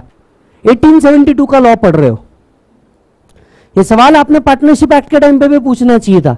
ये सवाल आपने सोगा के टाइम पे भी पूछना चाहिए था, पर आपने नहीं पूछा। क्यों नहीं पूछा भाई? देखो सर, अपन ठहरे बैक बेंचर इतना करना है करना है, विषय ओवर ज़्यादा पंचायती में हम पढ़ते नहीं। पूछो, भाई 1961 का लॉ 2022 में पढ़ाया जा रहा है और आप कहते हो अमेंडमेंट है। आप कहते हो? अमेंडमेंट है। ओ एक और नया वर्ड सामने आया। अमेंडमेंट अमेंडमेंट कहाँ से आते हैं सर अमेंडमेंट आते हैं बजट से। अमेंडमेंट कहाँ से आते हैं? बजट से। अब आप ये पूछेंगे कि सर तुम्हारे सवाल भी मैं तुमको बताऊँ, तुमको क्या पूछना है? कि कब कौन खोलेगा रे तेरा? पूछो बे, बजट क्या है? हाँ कौन लाता है? हाँ बजट कौन लाता है बच्चा? फाइनेंस मिनिस्टर निर्मला दीदी, बजट लेके आती है, ठीक है? याद रखे, हर साल आता है अमेंडमेंट अमेंडमेंट आता है बजट से। अमेंडमेंट कहाँ से आता है बेटा? बजट से। हर साल बजट लेकर के आते हैं और बजट के थ्रू आता है अमेंडमेंट बराबर है? अब कुछ सवालों के जवाब है जो हमें समझने होंगे। आखिर बजट की ज़रूरत क्यों पड़ती है? आखिर बजट की ज़रूरत क्यों पड़ती है? Right plan allocation of resources के लिए। ज़ाहिर सी बात है every organisation including Indian government जितना पैसा आ रहा है उसको प्लान एलोकेशन करेंगे ना। डिफेंस में कितना डालना है एग्रीकल्चर में कितना डालना है एडुकेशन में कितना डालना है यू नो अदर सेक्टर्स के अंदर में कितना पैसा डालना है। तो ये प्लान एलोकेशन ऑफ़ रिसोर्सेज के लिए बजट बनाए जाते हैं। चलिए बजट कौन से एक्ट के हिसाब से बनता है? Cadbury dairy milk silk question yes कौन सा? किसने finance act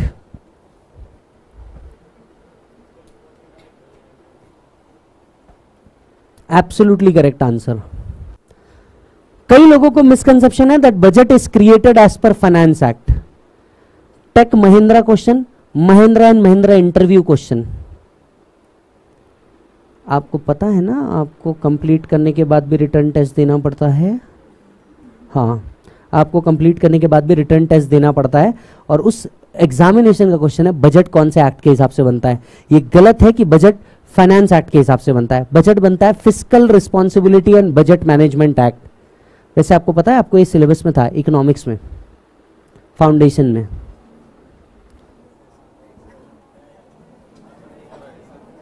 मैं कहा था जब ये पढ़ा रहे थे। तुम थे, तुम्हें पता नहीं है। तुम थे, तुम्हें पता नहीं है। Budget is prepared as per fiscal responsibility and budget management act वहाँ से आता है। और इस, जब बजट आता है ना बेटा बजट कितने तारीख को आता है? हर साल बजट आता है फ़र्स्ट फरवरी। हर साल बजट कितने तारीख को आता है? फ़र्स्ट फरवरी। पहले ऐसा होता था रेलवे बजट और फाइनेंस बजट अलग अलग आते थे। लेकिन यू नो मोदी सरकार ने यह भी प्रथा चेंज कर दी। अब रेलवे बजट और फाइनेंस बजट दोनों एक ही दिन पे आते हैं फ़र्स्ट फरवरी एवरी ईयर राइट तो चलिए और डीप में चलते हैं। चलिए और डीप में चलते हैं। सबसे पहला वर्ड समझने की कोशिश करते हैं बजट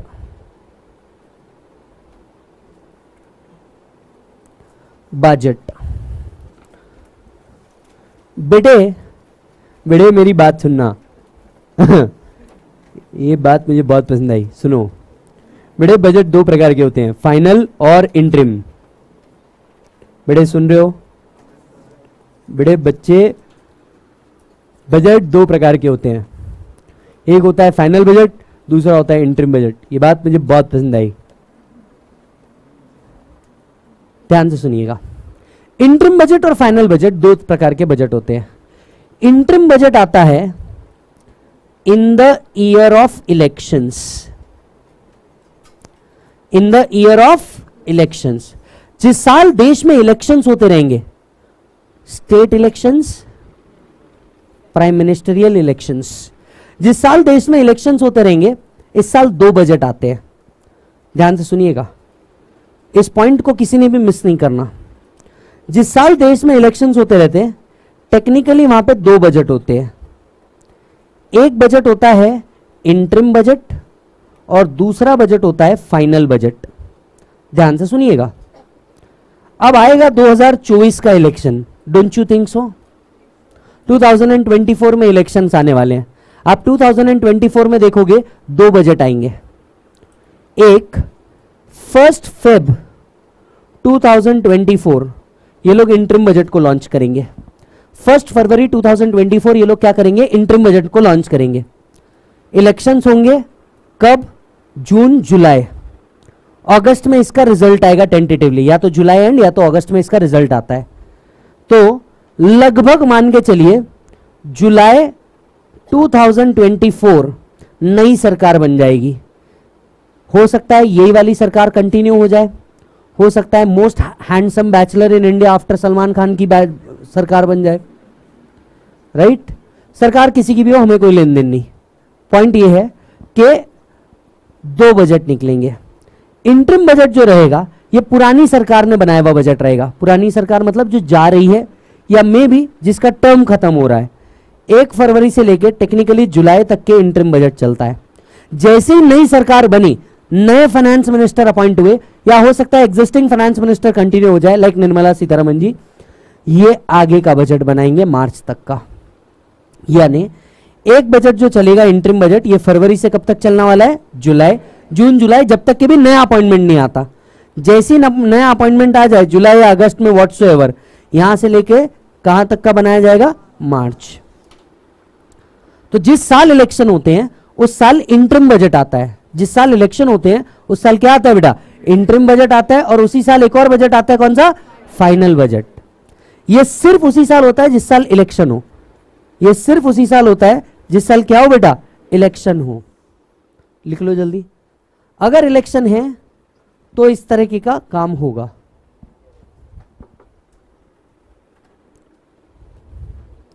सो इंट्रीम बजट कब आएगा बेटा? In the year of election technically in the year of election दो बजट आते हैं।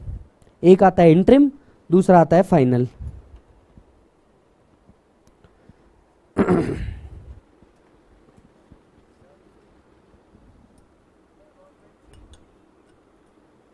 तो भी नया बजट लाना ही पड़ता है।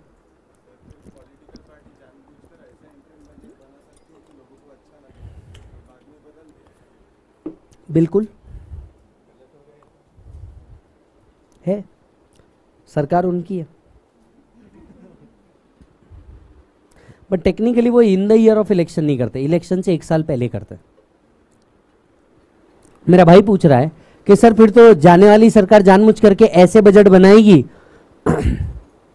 जो यू नो लोगों को लुभाए वोटर्स को लुभाए। 2018 मेरे एग्ज़ाम्पल बताता हूँ।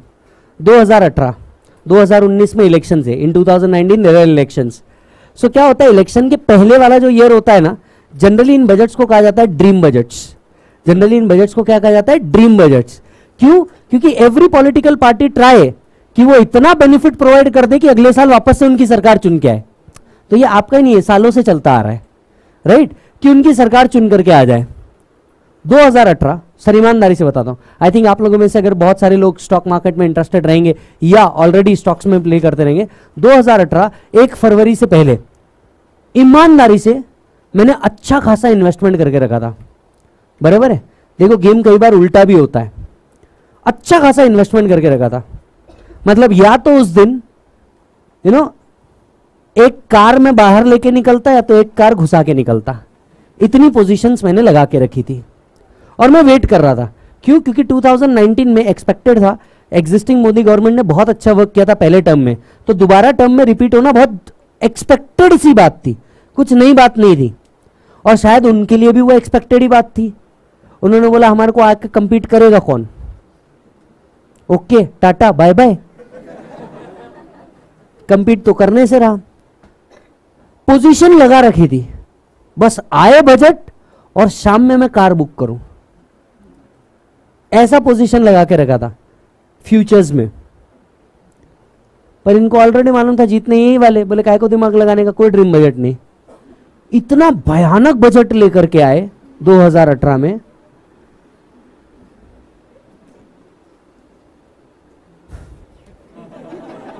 पूरी की पूरी कार ही घुस गई। बहुत लंबा नुकसान हुआ। बट ठीक है क्योंकि कई बार क्या होता है ज़रूरी नहीं है हर बार हो। If the government is confident enough कि हम ही आने वाले हैं ज़रूरी नहीं है कि वो इस तरीके के काम करे। वो बोले हाँ, अपन भाई शक्ति में अपन पिघलते नहीं है। तो ऐसा हो सकता है। अच्छा अगर देश में इलेक्शन नहीं है तो every year every year on first Feb आपको क्या मिल जाएगा? बजट मिल जाएगा। एवरी ईयर फ़र्स्ट फेब को आपको क्या मिल जाएगा? बजट मिल जाएगा। Budget is prepared as per fiscal responsibility and budget management act budget is prepared as per fiscal responsibility and budget management act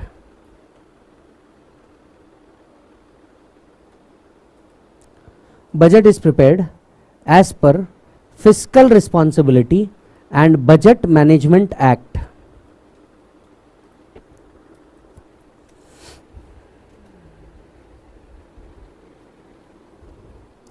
yes अब जब देखोगे बजट के अंदर में कई चीज़ें आती है।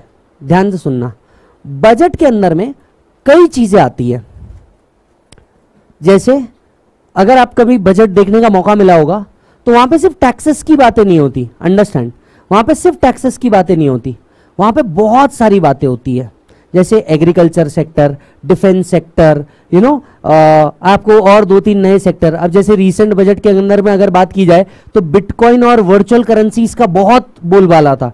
And government is very very stubborn कि हमारे को डिजिटल करेंसी इंडिया में लॉन्च ही नहीं करनी। हालाँकि उन्होंने टैक्सेशन दे दिया इससे रिलेटेड मतलब मेरे को समझ ही नहीं आता भारत सरकार का। पिछले तीन सालों से बोल रहे हैं कि भैया बिटकॉइन, इथेरम और जितने भी वर्चुअल करेंसीज है, हमें इसे रिकॉग्नाइज ही नहीं करना। एक तरफ़ बोला, हमें इसे रिकॉग्नाइज नहीं करना। और दूसरी तरफ़ इससे रिलेटेड टैक्सेशन लॉस दे दिए इस साल। समझ ही नहीं आ रहा, चल क्या रहा। I like you but as a friend क्या मतलब है जीवन में इसका? I like you as a friend मतलब है इन बातों का। आपको क्या, आप क्लियर कट बोल रहे हो तीन साल से, हमको चाहिए ही नहीं। ये इनवैलिड है। अगर ये इनवैलिड है तो इसको टैक्सेशन लॉस क्यों है? अगर ये इनवैलिड है तो इसको टैक्सेशन लॉस क्यों है? ला करके रख दिया। मे बी सुनर और लेटर लेके आएँगे। आज तो नहीं है। सुनर और लेटर लेके आएँगे। भाई थोड़ा सा एडजस्ट करना। कैमरा को ऊपर कर बच्चों के हेड्स आ रहे अच्छा बजट का जो टैक्सेशन पोर्शन होता है, ये फाइनेंस एक्ट में ऐड होता है। So a portion is added in finance act budget से जो रिलेटेड पोर्शन होता है टैक्सेस का पोर्शन होता है ये फाइनेंस एक्ट में क्या किया जाता है? ऐड किया जाता है। सो so, इससे आते हैं amendments related to direct tax related to indirect tax अब बजट में जो आता है,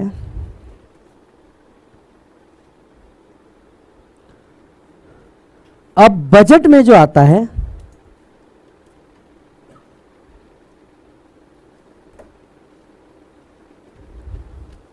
इससे रिलेटेड पोर्शन अमेंडमेंट आता है। अमेंडमेंट दो प्रकार के होते हैं। डायरेक्ट टैक्सेस से रिलेटेड अमेंडमेंट हो सकते हैं इनडायरेक्ट टैक्सेस से रिलेटेड अमेंडमेंट हो सकते हैं। क्योंकि जब बजट आता है, ये दोनों के अमेंडमेंट लेकर के आता है। डायरेक्ट टैक्सेस से रिलेटेड अमेंडमेंट भी लाता है और इनडायरेक्ट टैक्सेस से रिलेटेड भी अमेंडमेंट लेकर के आता है। अब जरा ध्यान से सुनिएगा। इस पोर्शन को एक भी व्यक्ति ने मिस करने की गलती मत करना। राइट आंधी आए, तूफ़ान या अंबर हट जाए, अगले दस मिनट सिर्फ़ स्क्रीन के ऊपर देखना, क्योंकि यह कंसेप्ट आपका मिस नहीं होना चाहिए, ठीक है? फोकस ये कितने बेटा?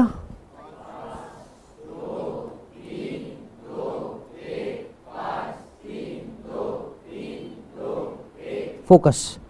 Direct tax indirect tax. ठीक है? Direct tax indirect tax direct taxes के अमेंडमेंट और इनडायरेक्ट टैक्सेस के अमेंडमेंट को इफ़ेक्ट कैसा मिलता है?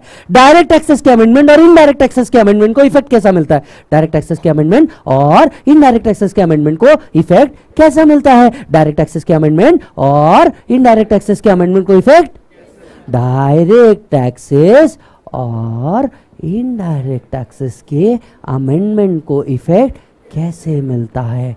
वापस से सुनिए मैं क्या कह रहा हूँ। डायरेक्ट टैक्सेस और इनडायरेक्ट टैक्सेस के अमेंडमेंट को इफ़ेक्ट कैसे मिलता है? बजट आया बजट ने डायरेक्ट टैक्सेस के भी अमेंडमेंट दे दिए इनडायरेक्ट टैक्सेस के भी अमेंडमेंट दे दिए। ओ, चम्मी कपूर डायरेक्ट टैक्सेस के भी अमेंडमेंट दे दिए इनडायरेक्ट टैक्सेस के भी अमेंडमेंट दे दिए। इनडायरेक्ट टैक्सेस के अमेंडमेंट उसी रात से अप्लाई करते हैं just like petrol prices change किया, उसी रात से अप्लाई करेंगे unless other date is notified unless other date is notified so indirect taxes में कोई अमेंडमेंट लेकर के आए, जैसे 18 परसेंट की जगह 22 परसेंट, उसी रात 12 बजे से लागू। आया धन में? उसी रात कितने बजे से लागू हो जाएगा? 12 बजे से लागू हो जाएगा। तो इनडायरेक्ट टैक्सेस के अमेंडमेंट उसी रात से, आधी रात से लागू हो जाएँगे। So indirect taxes amendment are applicable कुठली केबल applicable from midnight. Unless notified otherwise. उसी रात से एप्लीकेबल कर देंगे साहब अनलेस कोई और डेट नोटिफाई की गई हो। जब तक कोई और डेट नोटिफाई नहीं की गई हो, भाई और बहनों, उसी रात से अप्लाई कर दिए जाएँगे। तुरंत। बट ये हम जीएसटी में पढ़ेंगे अपना काम है इधर फोकस करने का। मैंने आपको बता ज़रूर दिया, पर अपना काम है इधर फोकस करने का। डायरेक्ट एक्सेस के अमेंडमेंट कब से अप्लाई करेंगे? कब की बात कर रहा हूँ मैं? डायरेक्ट एक्सेस के अमेंडमेंट कब से अप्लाई करेंगे? कब की बात कर रहा हूँ मैं? डायरेक्ट एक्सेस के अमेंडमेंट कब से अप्लाई करेंगे? कब की बात कर रहा हूँ मैं? डायरेक्ट एक्सेस के अमेंडमेंट कब से अप्लाई करेंगे? डायरेक्ट एक्सेस के अमेंडमेंट एक मिनट रुको। एक सवाल था जो बाकी था कल का। थोड़ा जूम आउट करना। एक सवाल था जो कल का बाकी था। सवाल क्या था? एक्ट कौन से ईयर में आया था? रूल्स कौन से ईयर में आया था? अब देखो, तुम्हारे को कंटेंट प्रूव करके देता हूँ, तुम बोलोगे, साहब फुल रिस्पेक्ट मज़ा आ गया। ध्यान से सुनना, एक ने भी ध्यान भटकाया तो मज़ाक नहीं कर रहा हूँ। पर ऐसा कंसेप्ट आएगा ना तुम्हारे को, तुमको लगेगा साला दो दिन पढ़ाया, तीन शब्द पढ़ाया, लेकिन पूरा घुमा करके एक जगह पे खड़ा कर दिया। डायरेक्ट एक्सेस एक्ट 1961 रूल्स 1962 बराबर? सवाल को इधर रखो, खड़ा कर दो। ये सवाल खड़ा है, दिख रहा है? अरे सवाल दिख रहा है क्या तुमको? सबको दिखना चाहिए, दिख रहा है, नहीं दिख रहा है? ये सवाल को बाजू रखो। बेटा रुक हाँ? डायरेक्ट टैक्स के amendment first day of next year से अप्लाई करते हैं। डायरेक्ट टैक्स के जो अमेंडमेंट्स होते हैं, ये first day of next year से अप्लाई करते हैं। ऐसा इसलिए because the whole income tax is return in assessment year format आने वाले साल में। आने वाले साल में क्यों? During the current year you will earn income and you will pay the tax in the next year so technically tax related amendment has to be applied for next year and not this year so actually, whatever you brings up now will actually be implemented in whatever you brings up now. Because तुम साल भर तो income कमाओगे। जब तक 31 मार्च तक के रात 12 बजे तक तुम्हारी इनकम जनरेट नहीं होती। ओ जब तक रात 12 बजे तक तुम्हारी इनकम 31 की रात 12 बजे तक पूरा धंधा। ये मैं नहीं कह रहा अकाउंट्स कह रहा है। थर्टी फ़र्स्ट की रात 12 बजे तक के अगर एक बॉटल भी सेल हुई तो वो इनकम में काउंट होगी कि नहीं होगी? अरे हाँ या हाँ। अब 31 मार्च तक के तो तुम अपना इनकम कंप्यूट करते रहते। 31 मार्च रात 12 बजे तुम्हारा इनकम कंप्यूट होगा। तुम क्या उस साल टैक्स पे करोगे? ए डिपार्टमेंट रुक रुक रुक रुक। हिल हिल टैक्स साल भर में इतना कमाया। पॉसिबल है ये? नहीं। कई चेक होते हैं जो क्लियर नहीं होते। कई सेल्स होते हैं जिनका रिकंसिलेशन बाकी होता है। यानी आप तो उतना कर ही नहीं सकते। क्या मैं कह सकता हूँ? आप अपनी इनकम कमाओगे और अगले साल इस पे टैक्स दोगे? यानी आपका जो पूरा का पूरा टैक्स है ये करंट ईयर के लिए होता है या आने वाले साल के लिए होता है? समझ में आई बात? तो आपने जो कुछ लाया, वो अगले साल अप्लाई होगा। Income of previous year is taxable in assessment year आने वाले साल में होगा। So direct tax related is applicable from first day of next financial year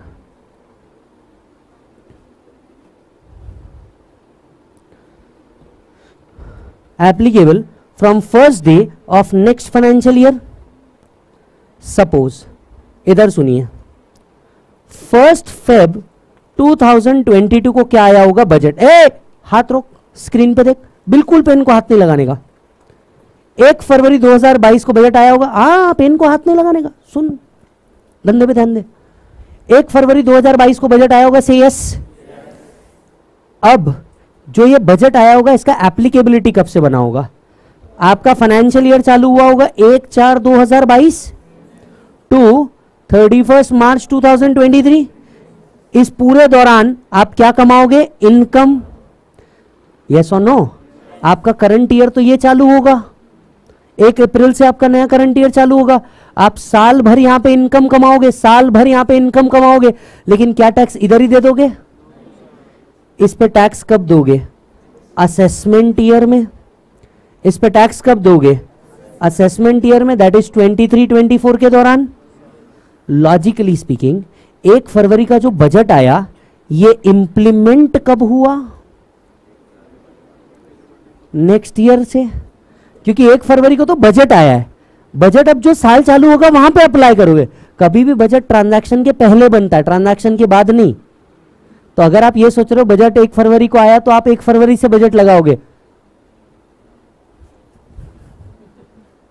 एक अप्रैल के लिए ये बजट है। आने वाली चीज़ों के लिए बजट बनाए जाते हैं। जैसे तुम्हारी शादी के लिए घर वालों ने बजट बनाया, तुम्हारे क्लासेस के लिए घर वालों ने बजट बनाया। तो ये हो गई है, तब बना रहे या होने वाली है, तब बनाएँगे? तो आप एक अप्रैल से जो ईयर चालू होने वाला है, इसके लिए इन्होंने बजट बनाया। लेकिन इस ईयर में आप पूरा का पूरा इनकम अर्न करोगे। बराबर है? जो नए प्रोविज़न आए हैं, वो प्रोविज़न का कानून का फॉलो करोगे। फॉर एग्ज़ाम्पल हो सकता है इस ईयर में उन्होंने बोला कि भैया, अगर तुम अगर तुम यू नो कॉन्ट्रैक्ट को पेमेंट करते हो तो टू परसेंट का टीडीएस काटो। तो इस साल जो भी कॉन्ट्रैक्ट आप करोगे, उस पर टू परसेंट का टीडीएस काटोगे। लेकिन इस साल भर में जो इनकम कमाई, इस पर टैक्स कौन से ईयर में दोगे? मार्च के बाद thirty first March two thousand twenty three के बाद that is year twenty three twenty four यानी क्या मैं ऐसा कह सकता हूँ बजट का एक्चुअल एप्लीकेबिलिटी कब आया? First day of next year यहाँ इसका एक्चुअल एप्लीकेबिलिटी आया, क्योंकि जब तक आपका इनकम अर्न ही नहीं समझता था, तब तक आपको टैक्स कितना पे करना है, ये कैसे समझेगा? कैसे समझेगा सरचार्ज देना है या नहीं देना है? जब तक आपकी टोटल इनकम ही फाइनल नहीं होगी, तब तक कैसे समझेगा मालिक? तब तक कैसे समझेगा मालिक कि भैया मेरे को? बोलो ना। टैक्स देना है कि नहीं देना है?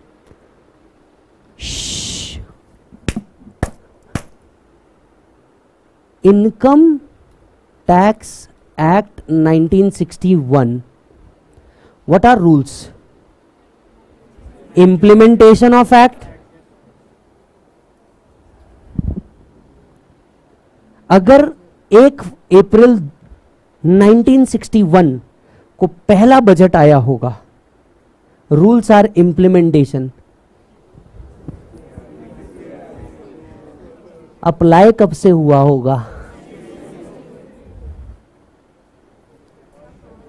Hence proved act 61 and rule 62 it has got logic hence proved income tax act 1960 and rules 1962 क्योंकि एक अप्रैल 2000 फ़र्स्ट अप्रैल 1961 को जो बजट आया होगा what is rules rules are implementation of act rules are एक अप्रैल 1961 को जो आया होगा इसका इंप्लीमेंटेशन चालू हुआ होगा first April 1962 Hence, Act 61 and Rule 62. Thank you so much. इस समझने को कितना टाइम लगा तुम्हारे को? टेक्निकली चार से साढ़े चार घंटा। कल का तीन, आज का एक। बट ये चार घंटे बाद तुमको समझ आएगा, जहाँ से शुरुआत किए, खड़े तो वही है। और लिख कितने दिए? दो पेज। कितने? एक दो पेज लिख दिए होंगे? कितने पेज लिख दिए? तुम्हारी हैंडराइटिंग खराब है, एक एक पेज के ऊपर लिखाया नहीं है मैंने। पर इतना सब लिखने के बाद तुम्हें समझ आ रहा है जीवन में? ये आदमी तो मैं तू, कल जहाँ खड़े थे, आज भी तो वही खड़े हैं जीवन में। इनकम टैक्स एक्ट 1961 रूल्स अब बोलो ऐसा क्यों? बिकॉज़ पूरा इनकम टैक्स आने वाले साल की लैंग्वेज में लिखा है। Income tax is activity after income is earn जब तक इनकम नहीं पता चलेगी, उस पर टैक्स कैसे दोगे ब्रो हैशटैग ब्रो समझ तो? जब तक इनकम नहीं समझेगा तेरे को, तू टैक्स कैसे देगा? तो प्रीवियस ईयर में जब तक तूने तेरी इनकम नहीं कमाई तो इस पर टैक्स कैसे देगा लाला? ओ लाला, समझ रहे हो बात को? वापस से सुनो। नहीं नहीं, तुमको समझा, मेरे को नहीं समझा, मैं ये कंसेप्ट एक और बार समझाऊँगा। तुमको समझ गया, तुम अच्छे बच्चे हो, मैं एवरेज हूँ, मैं अपने आप को एक और बार समझा रहा हूँ। मेरा ध्यान नहीं था। विजय, सुन। देख बेटा विजय। विजय, सुन। विजय, सुन सुन विजय। सुन, इधर आ विजय। हाँ सुन इधर। बजट। क्या होता है बेटा? बजट। बजट, देर से बात कर रहा हूँ, सुन इधर। बजट। कितने प्रकार के दिमाग का ढक्कन खोल हाँ। तेरे से बात कर रहा हूँ मैं, सुन। फोकस। दो प्रकार के बजट होते हैं, विजय। इंट्रिम अबे बोलना आवाज़ निकल। दो प्रकार के बजट होते हैं। हाँ इंट्रिम बजट सिर्फ़ उस साल में आता है, जिस साल? यानी इलेक्शन में एक बजट आता है कि दो? वेरी गुड जिस साल बजट नहीं रहता, उस साल कितने तारीख को आता है बजट? पूरा बजट हमारे काम का है कि सिर्फ़ अमेंडमेंट पोर्शन हाँ तो ये जो अमेंडमेंट पोर्शन है, ये फाइनेंस एक्ट में ऐड कर दिया जाएगा। इसमें दो प्रकार के अमेंडमेंट होंगे। बराबर है? जो इनडायरेक्ट टैक्स के अमेंडमेंट है, वो उसी रात से लागू हो जाएँगे। उसको बाजू करो डीटी के बाद जीएसटी आता है, पहले नहीं आता। अब आता है डीटी डायरेक्ट टैक्स के अमेंडमेंट कब से लागू होते हैं? यानी एक फरवरी 2022 को जो बजट आया होगा चालू उसके ऊपर काम एक अप्रैल से ही हो चुका होगा, लेकिन एक्चुअली कब इंप्लीमेंट होगा? पूरा इनकम टैक्स आने वाले साल की लैंग्वेज में लिखा है। ऐसा क्यों? क्योंकि ब्रो जब तक तू इनकम ही नहीं कमाएगा, इसके ऊपर तू टैक्स दे टैक्स दे पाएगा क्या इसके ऊपर? नहीं दे पाएगा ना? तो पहले तेरे को इनकम कमानी होगी। तो एक अप्रैल 2022 से लेके 31 तीन 2023 तक के जब तू इनकम कमाएगा राइट इसके ऊपर टैक्स तो 23 24 में देगा, जो भी तेरे को डेट बताएँगे, उस डेट के हिसाब से। समझा तू? अरे समझा तू? हाँ अभी एक मिनट खत्म नहीं हुआ है, सुन, इसीलिए एक्ट 1960 रूल्स 1960 क्यों? क्योंकि इंप्लीमेंटेशन अगले साल से होता है डीटी में। समझ में आया? पहले कमाओ, फिर उड़ाओ। पहले फिर समझे? देखो समझा? हाँ अभी बैठ वापस शांति में। हाँ। सो so, अब मुझे बताइए वेट आपको नहीं लगता कि आपका अटेम्प्ट अगर मई 23 है या जून 23 है फॉर दैट मैटर नवंबर 23 है या दिसंबर 23 है आपके लिए फाइनेंस एक्ट 22 एप्लीकेबल है? आपका अटेम्प्ट अगर मई 23 है 23 24 के लिए पढ़ रहे हो, आने वाले साल के लिए। आप कब के लिए पढ़ रहे हो? आने वाले साल के लिए। आपका अटेम्प्ट अगर मई 23 नवंबर 23 या जून 23 दिसंबर 23 है, आपको जो बजट एप्लीकेबल है वो फ़र्स्ट फेब 2022 को आएगा बजट एप्लीकेबल है। सुनो ना, अजी सुनते हो। फ़र्स्ट फेब 2023 को भी आएगा बजट लेकिन क्या ये आपके अटेम्प्ट के लिए एप्लीकेबल है? ना, मुन्ना, ना। ये आपके लिए काम का ही नहीं है। भले ही 2023 में आ रहा है, पर ये आपके काम का है ही नहीं। ये कब से लागू होगा? एग्ज़ाम्पल आपके लिए, जवाब दो। क्या मैं कह सकता हूँ, जो बच्चा मे 24 या जून 24 फॉर दैट मैटर, नवंबर 24 या दिसंबर 24 दे रहा है, उसके काम का है। तो आपको जो पढ़ना है, वो क्या पढ़ना है? फाइनेंस एक्ट 2022 आपको क्या पढ़ना है बेटा? फाइनेंस एक्ट 2022 अपनी बुक की पहली पॉइंट पे आप पढ़ोगे as amended by finance act 2022 समझ आ रही है बात? आपको नहीं लगता है लिख लेना चाहिए? है ना?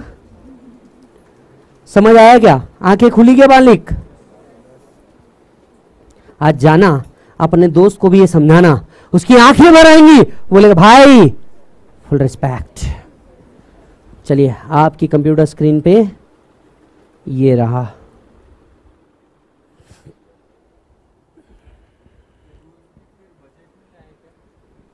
सीबीडीटी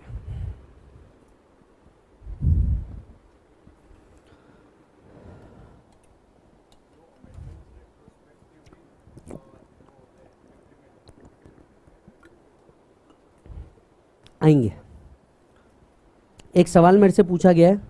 सर, कुछ अमेंडमेंट रेट्रोस्पेक्टिव भी होते हैं। अभी हम बहुत प्री और स्टेज पे इसे समझने के लिए। पर ये सवाल मैं अपने पास रखता हूँ।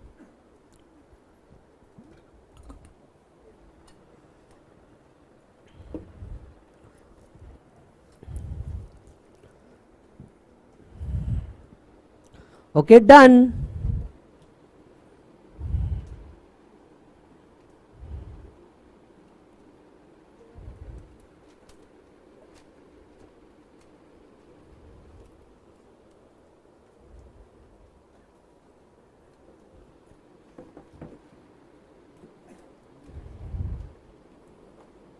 Say yes.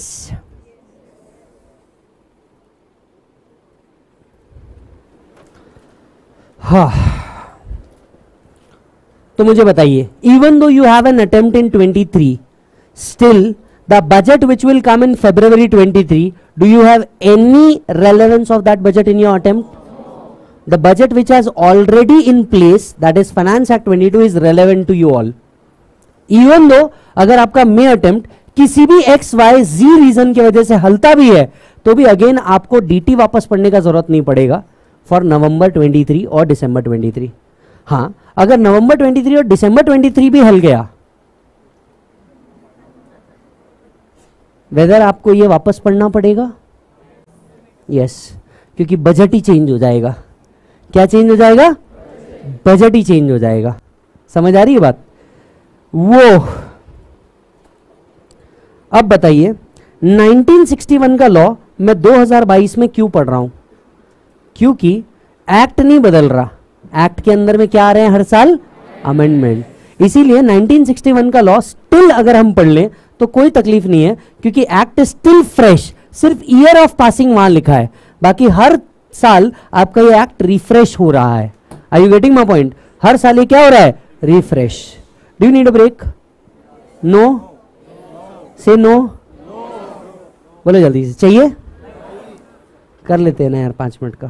बट पाँच मिनट से ज़्यादा, दस मिनट वो वापस आना जाना लंबा हो जाएगा। हाँ। एक मिनट, एक सवाल है कैमरा मैन हाँ।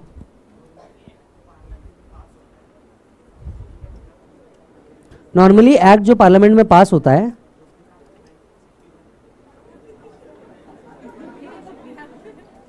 एक मिनट, आराम से आराम से हाँ। बराबर। तो 1961 का ये पास्ड है। बिल्कुल, इसके इंप्लीमेंटेशन रूल 1962 से है। डन मालिक, सच में तुमको ब्रेक चाहिए? हाँ या ना?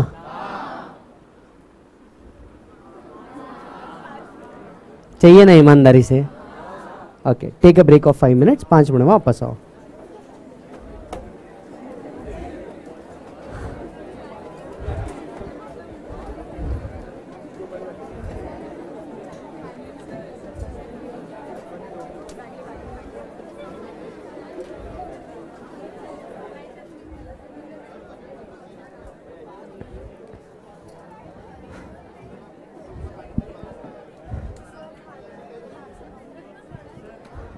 थर्टी सेवन परसेंट टैक्स बताया था सरचार्ज के साथ हम्म इनकम टैक्स इंक्लूड है ना वो इनकम टैक्स पे थर्टी सेवन है। आएगा। दो दिन रुक, आएगा। एक मिनट। भाई सुनना भाई, वहाँ से आके वो वाले गेट ओपन कर। पीछे से जा वो वाले गेट ओपन कर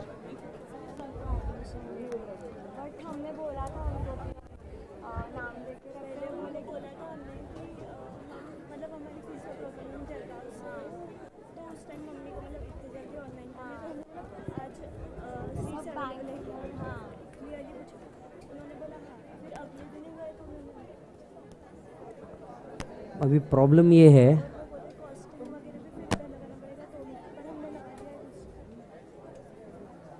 अभी अभी यार मेरे साथ प्रॉब्लम ये है कि जो एडमिशन है ये ऑलरेडी फुल हो गया है।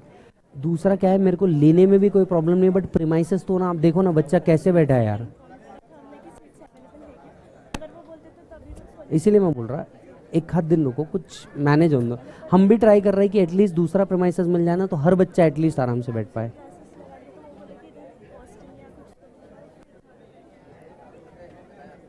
Let me work out today हाँ बैठो बैठने का कोई प्रॉब्लम नहीं है बैठो आप बैठने का कोई प्रॉब्लम नहीं। टैक्स का पैसा सेंटर के पास जाता है एक मिनट। एलोकेट होता है हाँ ना ना इधर यहाँ बोल।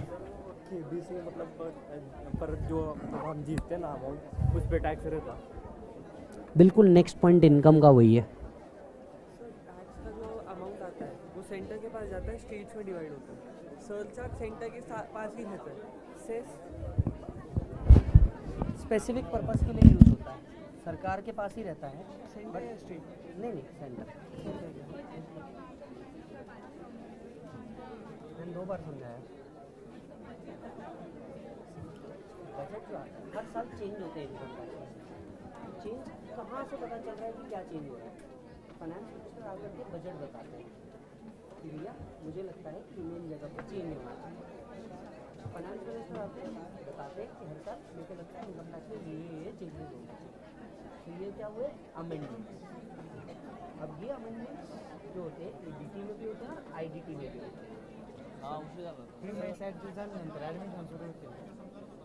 भाई अभी एडमिशन का सर कुछ नहीं बोल सकता है। प्रॉब्लम ये है। अरे भाई। हाँ?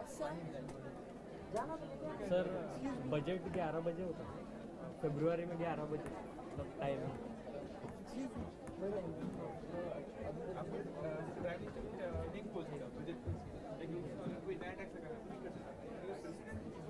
प्रेसिडेंट को करना है वो ऑर्डिनेंस लेके आए ऑर्डिनेंस लेके आते वो डिक्लेरेशन नहीं करते डायरेक्ट नोटिफिकेशन लेके आते फाइनेंस एक्ट में ये जो डायरेक्ट एक्सेस से है या इनडायरेक्ट एक्सेस से रिलेटेड अमेंडमेंट है वो क्योंकि बजट में आकर के वो एग्रीकल्चर का भी बोलते हैं। वो हमारे फाइनेंस एक्ट का कोई पार्टी नहीं है। एडमिशन मिलेगा कि नहीं? भाई एडमिशन के लिए रुक। सबसे पहले तो मैं ये देख रहा हूँ क्लास अवेलेबिलिटी कहीं हो जाता है क्या? अगर मेरा क्लास अवेलेबिलिटी हो गया ना तो मैं एक दो दिन में कर दूँगा वो चीज़। सर हो करने का नहीं मैं ट्राई कर रहा हूँ मेरा बात समझो मैं ऑलरेडी ऑनेस्टली ट्राई कर रहा हूँ। मान लो अगर किसी का डी टी प्लस लॉ दोनों है ना तुम्हारा तो हाल फ़िलहाल में आप लॉ में बैठो उधर स्पेस है। और डी टी जो रहेगा मैं उधर आकर के आपको कंटिन्यू जो जैसा कल किया हम लोग ने। तो एटलीस्ट आपका दोनों चीज़ हो जाएगा। प्रॉब्लम क्या हो रहा है? मैं अभी खुद किसी को नहीं बोल पा रहा हूँ कि एडमिशन है क्या क्योंकि हमने कल भी क्या हुआ? हर एक जन से बात करी। बट कोई प्रोमाइस देने के लिए रेडी नहीं। हमारे साथ ऐसा हुआ है कि बच्चों का इतना प्यार मिला कि वो भी फुल हो गया ये भी फुल हो गया। तो इसी के लिए कल अगर कोई ऑफ़िस में भी गया होगा ना तो उसको अपफ्रंट बोल दिया होगा कि भैया नहीं है। नहीं है। Have already cross one thousand face to face अब क्या हो रहा है जब तक कि मेरे को कोई प्रमाइसिस नहीं मिलता तब तक कि मैं उस चीज़ को वर्कआउट ही नहीं कर पा रहा और इसीलिए मैं एटलीस्ट किसी को कमिट नहीं कर रहा हाँ। अभी भी वहाँ पे है ना जिनका होल ग्रुप है एडमिशन उसके वहाँ पे अभी भी सात बाकी है। तो अगर किसी का होल ग्रुप होगा तो उसको एक मिनट में वहाँ पे मिल जाएगा। वो भी सात उससे ऊपर इसी के लिए मैं अभी कुछ बोल नहीं रहा हालाँकि मैं किसी बच्चे का नुकसान नहीं कर रहा हूँ। बोला आप बैठो लेट्स वर्क आउट समथिंग क्योंकि यार देखो, हमारे को खुद को नहीं मालूम था कि अचानक से ये होना है।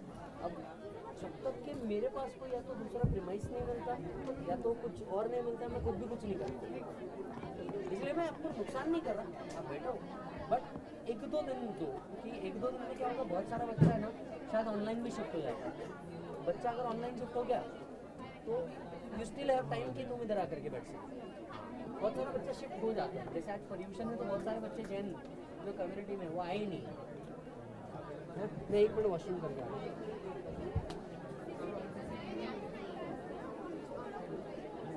मैं कमेंट नहीं करना पर एक्सपेक्टेड ज़रूर है।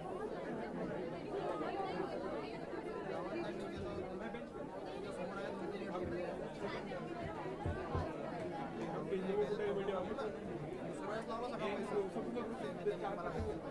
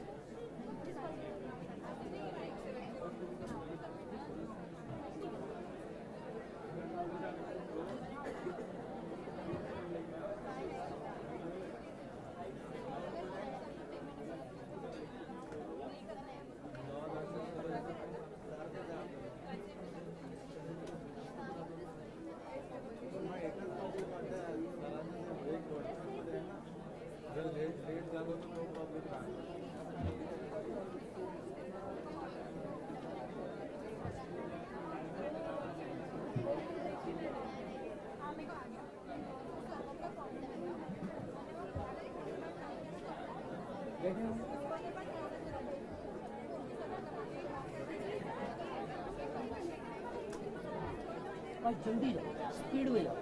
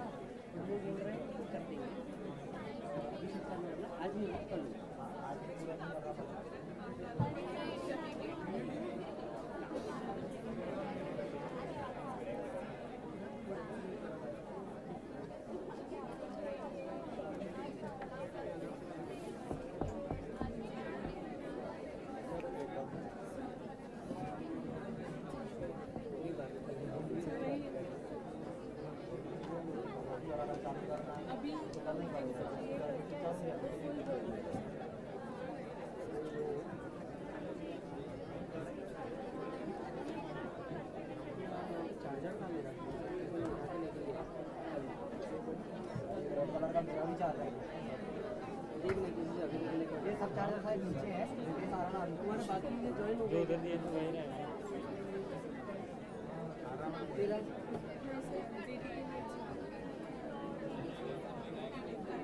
करोगे क्या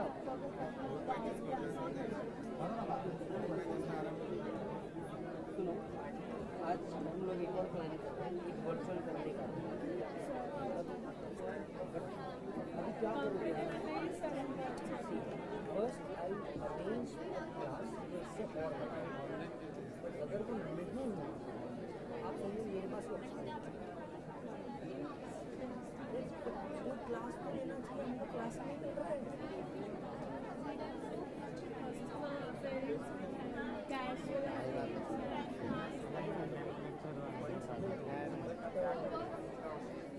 आज मेरे को टाइम तो अभी बैठे टाइम आज भी करना है कि कोई और क्लास हो पर ये क्लास के बाद ही होगा ठीक है डोंट वरी अभी तो बैठो।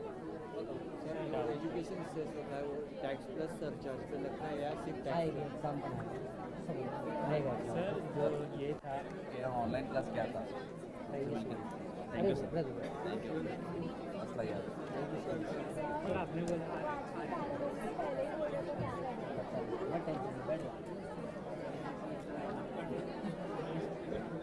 ट्रिब्यूनल और कोर्ट को लॉ इंटरप्रेटर या क्यों बोला गया? इंटरप्रेटर लॉ का एग्जैक्ट मीनिंग क्या था?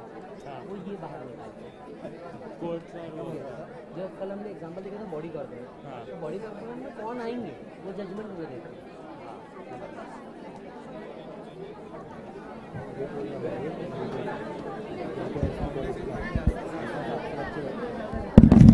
लॉकडाउन भी हो। जाएगा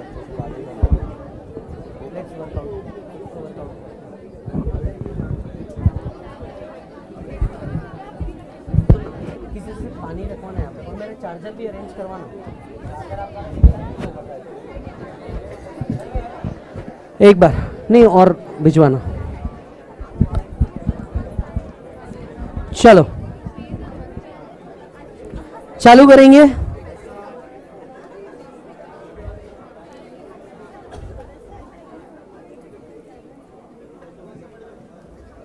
आओ, बैठो।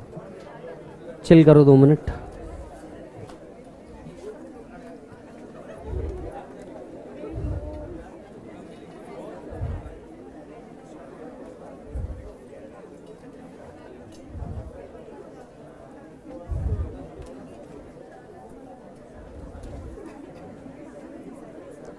Yes welcome after the break बच्चों, सबसे पहले दो मिनट कंटेंट को रुको और मेरा एक बात समझो, ठीक है? So there are many student बहुत सारे बच्चे ऐसे हैं जिनका अभी एडमिशन नहीं हुआ है, क्योंकि नीचे उनको ऑलरेडी बोल दिया गया है that it's already closed right मेरी एक बात बहुत ध्यान से सुने। पॉइंट नंबर वन सबसे पहले मैं ये ट्राई कर रहा हूँ, सबसे पहले मैं ये ट्राई कर रहा हूँ कि हमें कोई और एक प्रेमाइसिस मिल जाए, ताकि एवरीवन कुड सिट प्रॉपरली ठीक है? तो एक तरीका मेरे पास ये है कि मैं एक प्रेमाइसिस सर्च कर रहा हूँ, जो और इससे बड़ा हो, शायद एक और क्लासरूम हो जाए, ताकि हर एक जन आराम से फैल के, कुछ लोग सो के आराम से लेक्चर ले सके। अगर ये नहीं होता है तो एज ऑफ़ नाउ मेरे पास जो एक सोल्यूशन अभी अवेलेबल है, वो ये है कि अगर आपका पूरा ग्रुप का एडमिशन नहीं हुआ होगा तो स्टिल वो वाला जो बैच है, अपना बैच नंबर टू वहाँ पे करीब सेवन एडमिशन है जो पूरे ग्रुप के हैं। मतलब कंप्लीट ग्रुप वाले, क्योंकि वहाँ जितने बच्चे बैठे हैं, वो सारे कंप्लीट ग्रुप वाले हैं राइट जिनका पूरा ग्रुप ही हमारे पास है। इसीलिए we could manage the time as well so अगर किसी का अभी तक के नहीं हुआ है तो पूरा का पूरा ग्रुप के अंदर में वो काम हो सकता है। ये दूसरा सोल्यूशन है। तीसरा सोल्यूशन जो एक और मैं वर्कआउट कर रहा हूँ, वो ये है कि अगर पॉसिबल है तो इसी के साथ साथ एक लाइव वर्चुअल बिल्कुल बाजू या सामने वाला क्लास के अंदर में पॉसिबल हो जाए। आई नो कि ये फेस टू फेस वाला चीज़ नहीं होगा बट एटलीस्ट आप कुछ लूज आउट नहीं करेंगे, जो आपके टीचर्स होंगे, उनको आप लूज आउट नहीं करेंगे। तो वो एक ऑप्शन हो सकता है। फिर उस केस में हमें क्या करना होगा कि जो बच्चा यहाँ पे आगे बैठ गया, वो बैठ गया। जो बच्चा लेट आया फॉर एनी रीजन वो एटलीस्ट वर्चुअल में बैठ ले और कोई डाउट है तो मेरे से पूछ ले I could be visiting over there तो एज ऑफ़ नाउ मेरे पास ये तीन सोल्यूशन है। चौथा एक और सोल्यूशन है, जो बाजू में ही एक और प्रेमाइसिस है it's kind of an auditorium right so auditorium के अंदर में मैं ले सकूँ which is just five minutes walking from Prestige तो आप सुबह डायरेक्टली वहीं आ जाओगे और उससे आप डायरेक्टली यहीं आ सकते हो। Because although Darshan sir is also having same crowd तो ऐसा भी हो सकता है कि दर्शन सर भी वहाँ ले लें और uh, उसके बाद आप लंच करने के बाद डायरेक्टली प्रेस्टीज पे आए। तो ये चार ऑप्शन है जो एज ऑफ़ नाउ हम लोग वर्कआउट कर रहे हैं। बिकॉज़ वी डोंट वॉन्ट कि किसी भी बच्चे का एक भी बच्चे का क्या हो नुकसान हो। ना हमारे एंड पे ना आपके एंड पे। Right right? तो एज ऑफ़ नाउ ये चार सोल्यूशन मेरे पास है। आप इसमें से जो सोल्यूशन पे वर्कआउट करना चाहते हो many student are coming and saying कि, सर, मेरा नहीं हो पाया था एडमिशन या for what's ever reason I can understand कि कुछ ना कुछ ज़रूर मजबूरी रही होगी जब ये नहीं हो पाया। एंड नेक्स्ट बैच को एटलीस्ट आप कम्युनिकेट करके रखिएगा, आपके जो जूनियर्स होंगे उनको, कि भाई ये ये काम तू पहले से करके रखना। Right but as of now you know थोड़ा सा पेशेंसली होल्ड करो क्योंकि ऐसा भी हो सकता है कि बहुत सारे बच्चे जो हो ये बोले कि मैं ऑनलाइन करूँगा। तो यहाँ से एटलीस्ट फिर उतना स्पेस भी अकोमोडेट हो पाएगा। तो एक दो दिन का थोड़ा सा यू you नो know, ये आ, क्या बोल सकते हैं जंबल है। बट लेट एस वर्कआउट मतलब थोड़ा सा टाइम दो। कल हमारा भी पहला बैच था रात में दो बजे तक के बैच के आपके बैच के चालू होने से पहले रात में दो बजे तक के हम खुद प्रीमाइसेस वर्कआउट कर रहे थे। क्योंकि this was a sudden thing I hope and expect just a little cooperation बाकी हम बैठे टेंशन मत लो। यहाँ पे जो अपना टाइम कुछ दस पंद्रह मिनट का मिस भी हो रहा है डोंट वरी एक आध संडे मैं जानता हूँ आप मेरे को दे दोगे। लो सर एक काम करो, आप ले लो एक संडे जानता हूँ मैं आप ऐसा करोगे। आप बोलोगे मेरे को कि सर एक काम करो, थोड़ा एक्स्ट्रा ले लो। बोलोगे ना ऐसा?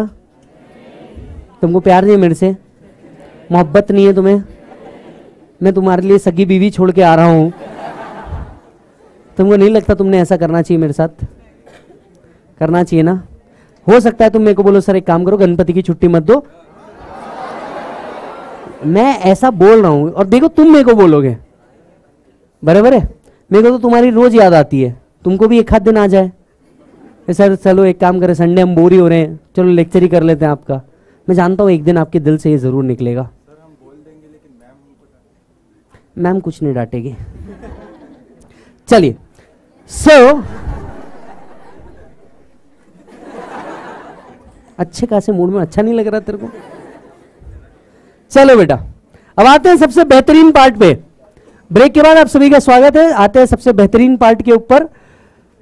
भैया, चार शब्द पढ़ने थे कल से लेके आज तक। इनकम टैक्स एक्ट 1961 एक्ट तोड़ताड़ कर लिया टैक्स तोड़ताड़ कर लिया 1961 को आज भी क्यों पढ़ रहे हैं, इसका भी लॉजिक समझ लिया। क्योंकि हर साल क्या आ रहा है? अमेंडमेंट बस एक्ट 1961 में पास होता है every year this is going to refresh अपने आप को ये रिफ्रेश करे जा रहा है। नाउ अब आते हैं चौथे वर्ड पे इनकम किस वर्ड पे आते हैं बेटा?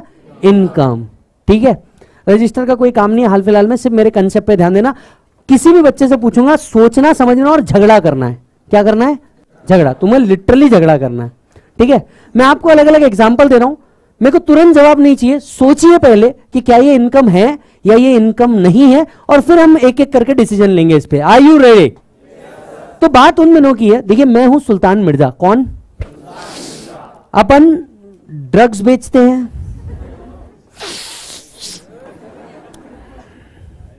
इलीगल एक्टिविटीज़ में इन्वॉल्व हैं। सुल्तान मिर्ज़ा, जो once upon a time in Mumbai में बट बट आई गेस उनका बहुत अच्छा कैरेक्टर है इन रियल लाइफ तो अपन ड्रग्स बेचते हैं स्मगलिंग करते हैं, हवाला करते हैं, पैसा कमाया। क्या ये मेरी इनकम है? मैंने जवाब पूछा आपसे, मैंने बोला, सोचना है। है ना? यही प्रॉब्लम है। तुम इंस्ट्रक्शन सही सुनते नहीं हो। पहले ध्यान से सुनो। अपने मन में रखो, फिर झगड़ा करेंगे इसके ऊपर। और झगड़ा मैं नहीं करूँगा। आप दो लोग करेंगे, कोई तो। एक जन जो फेवर में होगा और एक जन जो अपोज में होगा, ये दो लोग झगड़ा करेंगे। हम सिर्फ़ सुनेंगे। ठीक है? दूसरा दूसरा, ध्यान से सुनना। राइट सो मैं ड्रग्स बेचता हूँ। मैंने मर्डर करके पैसा कमाया। दूसरा, मैं चंदन की लकड़ी बेचता हूँ। पुष्पा झुकेगा नहीं साला। मैंने इससे इनकम कमाई, क्या ये मेरा इनकम है? फिर सिर्फ़ सुनो, सब्र करो। तीसरा, रास्ते से जा रहा था, भेलपुरी खा रहा था, अचानक दो हज़ार का नोट दिखा। मैं नीचे उठा, दो हज़ार उठाया, जेब में डाल दिया। क्या ये मेरा इनकम है? Next next. मैं भगवान के मंदिर में गया, भगवान को पैर भगवान को दो हज़ार रुपये चढ़ाए। क्या भगवान का ये इनकम है? एक दिन बचपन में दांत टूट गया था, पप्पा ने सोने का दांत मंगवाया था, पैसे की ज़रूरत पड़ी, सोने का दांत बेच मारा। क्या ये मेरी इनकम है? अपनी किडनी बेच मारा। पैसा आया। क्या ये मेरी इनकम है? मेरे रिलेटिव घर पे आए। चार गाली के अलावा एंड में सौ रुपए पकड़ा के गए। आपको तो मालूम है हाउ दिस रिलेटिव्स आर साला, एक बहुत डीप बात कहने जा रहा हूँ, ध्यान से सुनना। बहुत डीप बात कहने जा रहा हूँ, ठीक है? ध्यान से सुनना। ज़िंदगी में ना पॉजिटिव समझ आता है निगेटिव समझ आता है, एक रिलेटिव ही है जो समझ नहीं आता। बात सही है कि नहीं मालिक? पॉजिटिव समझेगा सेल के दो साइड होते हैं, मालिक। पॉजिटिव निगेटिव पॉजिटिव समझता है निगेटिव समझता है, एक रिलेटिव ही है जो समझ नहीं आता। पहले आकर के दुनिया भर की गाली खिलाएगा एंड में जाते हुए सौ रुपए देके जाएगा। बराबर है? तो रिलेटिव ने सौ रुपए दिए, क्या ये मेरी इनकम है? इसके बाद में मैंने क्या किया? किराना की दुकान है, कुछ सामान बेचा, क्या ये मेरी इनकम है? किराया आता है मेरे को पीजी से, क्या ये मेरी इनकम है? मैंने शेयर्स में इन्वेस्टमेंट किया, मेरे को डिविडेंड्स मिला, क्या ये मेरी इनकम है? जुआ, सट्टा lottery dream eleven casino gambling betting शर्त लगाना। इससे मुझे पैसा मिला। क्या ये मेरी इनकम है? शुरुआत करते पहले कंसेप्ट से। मैंने स्मगलिंग की मर्डर किया। डेढ़ सौ रुपया देगा। गांजा हीरोइन का धंधा। पैसे आए। क्या ये मेरी इनकम है? हाँ या ना? I need one person who say yes yes yes एक. यस यस यस एक पर्सन जो नो ये इनकम नहीं हो सकती. गुड ठीक है भाई. एक मिनट खड़े हो जा तू भी. बच्ची, खड़े हो जाओ आप भी. लड़ो.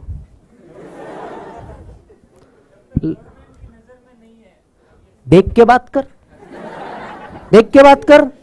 हाँ. और जो लोग ऑनलाइन बैठे हैं, आपको दिख नहीं रहा. मैं मैं मैं मैं इनको रिप्रेजेंट करना चाहता हूँ. हाँ. I object madam smuggling drugs ये सब दो नंबर का पैसा है और ये इनकम नहीं हो सकता। ऐसा एक व्यक्ति कह रहा है। पैसा तो पैसा है। गांधी जी के नोट पे शक्ल तो वही है। इनकम इनकम होती है, पैसा पैसा होता है। वो कह रही है। गवर्नमेंट के ऑब्जेक्टिव से पैसा कैसा है? गवर्नमेंट कभी भी कोई इलीगल एक्टिविटी को प्रमोट नहीं करना चाहती। पेनल्टी लगा, वो अलग बात है। पेनल्टी तो तब लगेगी जब वो ध्यान में आएगा। कोई गलत कर रहा है, बताएगा भी।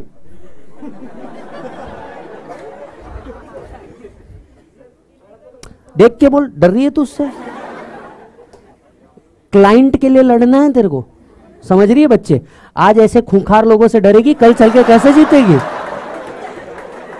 डरने का नहीं भाई खड़ा है इधर। आँखों में देख के हट इनकम है भाई का आज। इनका है ऐसा हम्म, मारेगी मैं ऐसा हाँ। देख के बोल। एक मिनट पैसा पैसा होता है खत्म बात। कोई धंधा छोटा नहीं होता धंधा से बड़ा कोई धर्म नहीं होता। इनकम है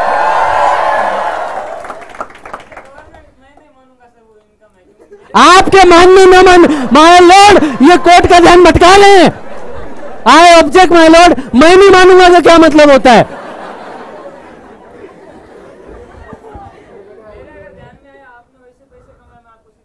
एक मिनट हु आर यू मेरे ध्यान में आया मैं आपको जेल भेज दूँगा। एक मिनट, गलत किया है पेनल्टी लगाओ। भाई साहब, बात सुनो। गलत किया पेनल्टी लगाओ, पर इनकम तो है ही। आए पेनल्टी लगाओ। पता ही नहीं चलेगा, लगाएँगे कैसे? चलिए, दो जन बैठिए। और दो लोग, किसी ने हाँ बोला था इनकम है हाँ इनकम है हाँ हाँ इनकम है। कौन बोल रहा है, नहीं है? नहीं है, बोलिए सर। इनकम है, नहीं नहीं है वाला चाहिए। तुम दोनों तो सेम टीम में हो हाँ। इनकम है? मैं कहता हूँ, नहीं है। अब कोई नहीं लड़ रहा तो मैं तो लड़ू। आ जाए इधर आ जाए इधर। हाँ बोल भाई। सर इनकम तो है। इनकम तो है। वो इलीगल हुई तब भी इनकम तो है। इनकम इलीगल हुई तब भी वो इनकम तो है ही। मेरा भाई ये कह रहा है बात बराबर है एकदम भाई। लेकिन मेरी एक बात समझो बच्चे का नामकरण करने का मतलब ये तो नहीं होता उसका नाम ही करण कर दो। अगर इलीगल मेरा एक बात समझो, अगर इलीगल एक्टिविटी को बढ़ावा दे दिया तो गवर्नमेंट के इतने लॉ रेगुलेशन बनाने का लॉजिक क्या है? अगर आप इलीगल एक्टिविटी के इनकम को इनकम कंसिडर करेंगे तो एक बात समझिए कि इससे इलीगल एक्टिविटीज़ को बढ़ावा मिलेगा देश में। और क्या हमें ऐसा ही देश बढ़ाना है? अरे तू डर गया, बैठ सवाल ये नहीं पूछा था कि गवर्नमेंट के पर्सपेक्टिव से इनकम है क्या? मेरे who are you do you have any right to collect tax कैसे? माय लॉर्ड ये कोर्ट का ध्यान भटकाना चाह रहा है। ये बोल रहे हैं, मेरे पर्सपेक्टिव से है। हम बात ही गवर्नमेंट की कर रहे हैं। Taxes will be collected by government तो ये मतलब नहीं है कि आप उसे कैसा समझते हैं? देश उसे कैसा समझता है? है ना? आपकी नज़रों में वो बहुत खूबसूरत है। ज़रूरी नहीं सबके नज़रों में हो। हाँ जी। टैक्सेबल ही नहीं है। एक मिनट माय लॉर्ड ये कोर्ट का ध्यान भटका रहे हैं। हमने ये पूछा ही नहीं है टैक्सेबल है या नहीं। मैं आपसे ये पूछ रहा हूँ, ये इनकम है या नहीं? मैं आपसे सिर्फ़ ये पूछ रहा हूँ, ये इनकम है या नहीं? है या नहीं है? है। चलिए दूसरे एग्ज़ाम्पल पे चलते हैं। रास्ते से आ रहा था, भेलपुरी का रहा था दो हज़ार का नोट मिला। इनकम है। क्यों? अरे है ना, दो हज़ार रुपये मिले ना। कैसी बातें कर रही हो मैडम, देखो। आपको पैसे मिले। ये इनकम हुई ना। अर्न थोड़ी ना भाई साहब मेरी। खैर, ये तो वो है जो मेरे को बीवी ने दिया आज खर्चे के लिए। हाँ मेरा डेली का इतना ही मिलता है मेरे को। ईमानदारी से ऑनेस्टली आपने इधर कुछ भी कैलकुलेट किया, मेरा बीवी मेरे को सौ रुपये ही देती है। मेरे को सौ दर्शन सर को एक सौ बीस रुपये कसम कसम से, मज़ाक नहीं कर रहा हूँ। सौ रुपये अच्छा उसका लॉजिक ही अलग है। बोलती देखो, खाना, नाश्ता डिनर तुमको घर से मिलता। पेट्रोल का तुम अपने ऑफ़िस से क्लेम करते। तो तुमको पैसे चाहिए क्यों? उस पगली को कौन बताए? लड़कों के बहुत एक्सपेंसेस होते हैं। कौन समझा उसे चाय पच्चीस रुपए की हो गई है? कौन समझाया उसे? खैर, जिसे नहीं समझा पोगो। कौन समझा? हमारे आधे दोस्त तो ये सोच के घर से बाहर निकल रहे कि ये पैसा ला रहा होगा। खैर, छोड़िए। द पॉइंट इज़ दो हज़ार रुपए मेरे को सड़क पे मिले। इट्स एन इनकम तकलीफ़ कहाँ है? It's an gain no ma'am it's a gain so gain is an income no अरे एक्टिविटी कुछ नहीं की मतलब ऐसा थोड़ी ना होता यार। मतलब ये, आप ये कहना चाह रही हैं इनकम कमाने के लिए कोई एक्टिविटी का होना ज़रूरी है, ऐसा? यार, फिर ऐसे तो मेरे को लॉटरी का टिकट का नंबर लगा, वो भी तो मैंने कुछ कर नहीं रहा हूँ, वो तो लग बाय चांस हुआ ना। ये भी तो बाय चांस हुआ। कमाया हुआ इनकम रहता है सर लॉटरी में आप क्या करते हो? It's a gain only no it's a gain only फिर तो लॉटरी को भी आप इनकम मत मानो। केबीसी में जो हम गेम खेल रहे हैं, उसको भी आप इनकम मत मानो। ड्रीम आईपीएल में जो पैसा कमाया, उसको भी आप इनकम मत मानो। सट्टा में जो पैसा कमाया, वो भी इनकम मत मानो। रोडीज में जो कमाया, वो भी इनकम नहीं। स्प्लिट्स विला में जो कमाया, वो भी इनकम नहीं। फिर तो इनकम ही नहीं हुई ना। बिग बॉस में जो कमाया, वो भी इनकम नहीं। आप ऑर्थराइज अनऑर्थराइज कैसे डिफाइन करेंगे?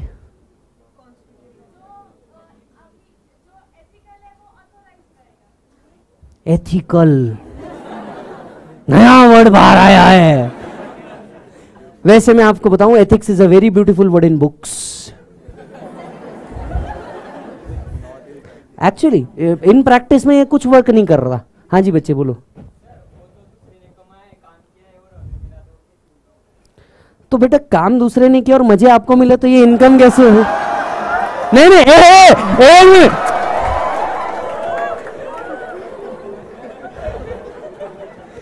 बहुत ही बेकार लोग है यार। अरे आई डिन मीन दैट यार। इनकम कैसे हुई? हाँ बच्चे। हाँ जी। मिल गया। हाँ। चलिए, नहीं क्लेम किया। कर दिया, तब तो मेरा कुछ हुआ ही नहीं, मेरे हाथ से चला गया। हाँ तो सर मान लो ना, मैं छह महीने रुका, कोई नहीं आया। अब इनकम हो गई मेरी। हाँ तो ऐसे बोलो ना, जनाब इनकम है।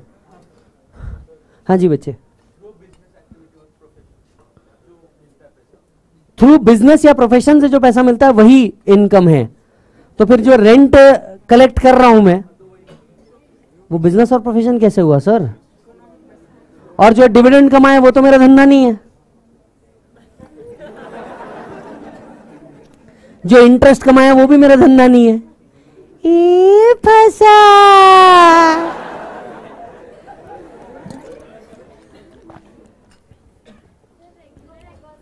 एक एक मिनट हाँ जी। पैसा मिला इनकम है। मैडम ने कहा बड़ा क्लियर कंसेप्ट है। हाँ हाँ जी। क्या बोले?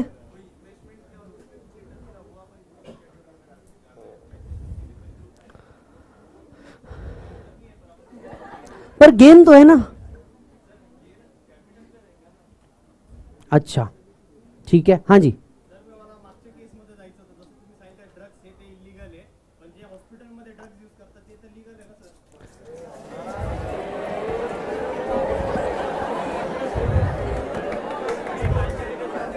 भाई मेरा कह रहा है, सर आपने कहा ड्रग्स इलीगल है, पर हॉस्पिटल में जो ड्रग्स यूज़ हो रहा है, वो तो सर फिर वो भी तो इलीगल हुआ। Sir understand there are two types of drugs medicinal drugs non medicinal drugs medicinal drugs is always permitted ऐसी जगह नहीं जाते। तो चलिए तीसरे एग्ज़ाम्पल पे चलते हैं। कंक्लूजन पे नहीं पहुँचा मैं। हाँ। बोल बेटा। बोलो बोलो एंड में। हाँ। गांजा की खेती? अरे एक मिनट। मैं क्या बोल रहा हूँ? तुम क्या बोल रहे हो? नया है वो। अरे, आप समझ रहे हो? कोर्ट रूम में जब दो लोग झगड़ते होंगे, क्या सीन चलता होगा? इनकम टैक्स इतना भयानक है कि आदमी एक तरफ़ प्रूव करना चाहेगा ये इनकम है, दूसरा आदमी प्रूव करना चाहेगा ये इनकम ही नहीं है। आपको नहीं लगता डिपार्टमेंट हमेशा प्रूव करना चाहेगा ये इनकम है? And as a tax payer मान लो वो टैक्स पेयर तुम ही हो, तुम क्या प्रूव करना चाहोगे? हमेशा ये चीज़ होने लगी ऑनलाइन में हमारे इतने सारे दोस्त कनेक्टेड है, ये भी अलग अलग बातें करे जा रहे हैं। हाँ जी बच्चे एंड में हाँ।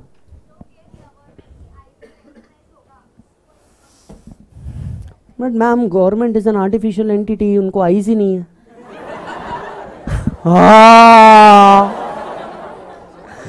गवर्नमेंट की नज़रों में अच्छा उन्होंने कहा गवर्नमेंट की नज़रों में जो रिकॉग्नाइज होगा एथिकल होगा, वो इनकम है, और ऐसा नहीं है। तो आप सोचिए ना मैडम बिज़नेस या प्रोफेशन बहुत सारे नहीं हो सकते। बहुत सारे हो सकते।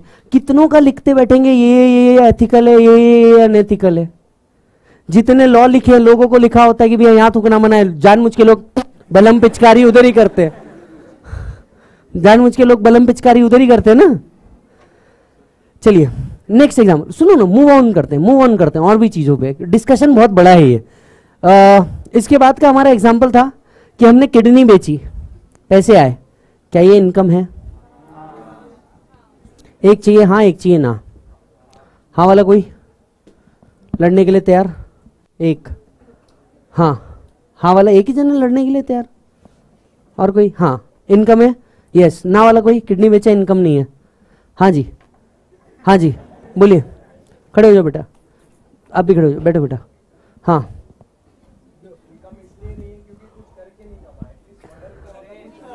एक मिनट एक मिनट एक मिनट हाँ। इनकम इसलिए नहीं है क्योंकि कुछ करके नहीं कमाया। कुछ करा होता, खुद का किडनी था, बेच दिया, इनकम है। मेरा एक दोस्त ये कह रहा है। कैमरा आ सकता है उनके ऊपर? नहीं, वो उधर नहीं आएगा। अच्छा ठीक है। ठीक है, आप बोलिए बेटे। किडनी बेची, पैसा आया। किडनी बेचने में भी दम लगता है। क्या किया मत बोलो? ऐसा पड़ा था। छोटी गंगा बोल के नाले में कुदा देश किडनी निकाल लिया भाई। कुछ किया गया ज़रूरी थोड़ी ना हर काम हाथों से ही किया जाए। ये बात समझ में मेरा बात समझ में अरे, एक मिनट। अरे प्रभु, ज़रूरी थोड़ी ना हर काम हाथों से किया जाए। कई बार गलतियाँ नज़रों से भी तो होती है। हर बार हाथ का कसूर नहीं होता हाँ तो ज़रूरी थोड़ी ना। लड़के जो सोच रहे हैं ना बेटा। ठीक है अपनी सोच को थोड़ा ऐसा सीमित रखो जीवन में। नालायक हो रहे हो तुम लोग। दूसरे ही दिन। हाँ जी।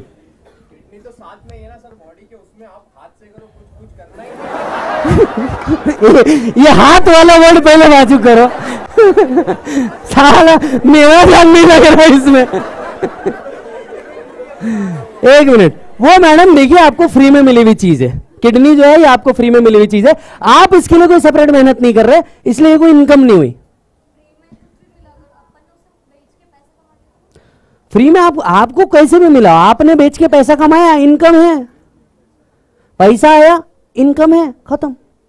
क्या लीगल इलीगल अरे भाई, एक बात समझो नोट मेरी एक बात समझिए, आपके भी पे एग्जांपल दे रहा हूँ। नोट ये है नोट पे लिखा होता है, मैं जिसका हूँ, मैं उसका हूँ, जिसके हाथ में हूँ, उसका हूँ।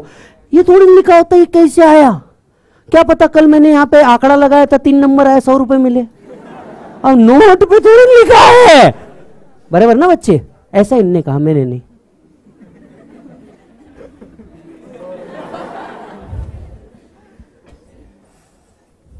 यू रेस्ट योर केस बैठ जाओ। लड़की के हाथ में केस गया मतलब। हाँ जी।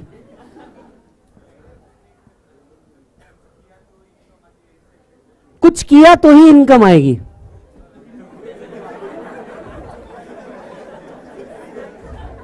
इधर वाले ना कल से उधर बैठो। हाँ। मैम, वो कह रहे हैं, कुछ किया तो आएगी। आप इसमें कर क्या रहे हैं? कौन सी ह्यूमन एक्टिविटी या ह्यूमन स्किल इन्वॉल्व है इसमें? कोई तो एप्लीकेशन ऑफ़ ह्यूमन स्किल होना चाहिए था, बराबर ना? कहे ना, क्या चाहते हो जीवन में?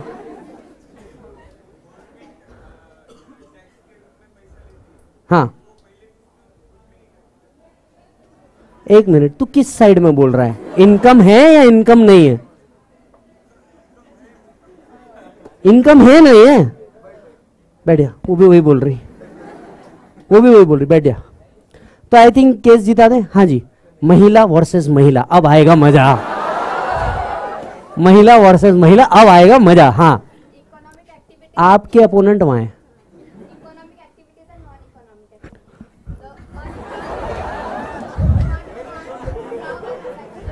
is not considered as uh, income. So that's considered non-economic activity. And in the previous case, related money finding the uh, means working in the temple and all that. So in that case, you can't claim your right over it against the whole world. Just in Justin Tran and Justice Paulson that is a law subject. You might know that. पानी पी बच्चे तू पानी P उनने पूरा economics का definition बोल दिया भाई economic activity non economic activity just in respect एक minute madam. Non economic activity से भी पैसा आया तो पैसा तो पैसा है। But oh love and affection ये out of love and affection होने वाली चीज़ों को आप इनकम नहीं बोल सकते। बराबर? ऐसे ही बोला आपने। एक मिनट मेरी बात ध्यान से सुनना। मैं इनको अपोज करना चाहूँगा। माई लॉर्ड कोर्ट का ध्यान ये भटकाना चाहते हैं। इन्होंने कहा कि लव एंड अफेक्शन से आई वाली चीज़ को हम इनकम नहीं कह सकते। तो गिफ्ट तो टैक्स होना ही नहीं चाहिए। Gift is given out of love and affection gift tax हटाया गिफ्ट पे टैक्सेबिलिटी नहीं हटाया। हम्म, बैठ सोचो कितना लफड़ा है ना जीवन में। नेक्स्ट केस नेक्स्ट केस मैंने मेरा दांत बेच मारा सोने का। अब है ऑनलाइन कह रहा है sir if you receive money it's an income no matter how you receive it स्त्री वर्सेस स्त्री. ऑनलाइन अरे फेस टू फेस वाले नाला है कि तुम क्यों हो रहे हो? हाँ चलिए, चौथा, मैंने सोने का दांत बेच मारा। क्या ये मेरा इनकम है? हाँ या हाँ? हाँ या हाँ? अब क्या तकलीफ़ है भाई तुमको? इसके पहले वाले केस में तुम क्या बोल रहे थे? किडनी के लिए। अब ये इनकम नहीं थी। दांत आया तो इनकम हो गई। सर सोने का दांत है। आ, बात कीमत की है बेटा। अच्छा। तो सोने का दांत बेचने पे हमारी जनता कह रही है कि भैया ये इनकम है। अच्छा। है नहीं है। अच्छा। और भी एक एग्ज़ाम्पल था। एग्ज़ाम्पल था वो मंदिर का। मैं मंदिर में गया।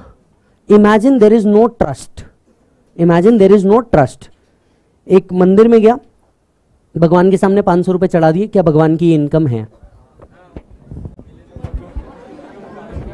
क्या भगवान की इनकम है? हाँ या ना?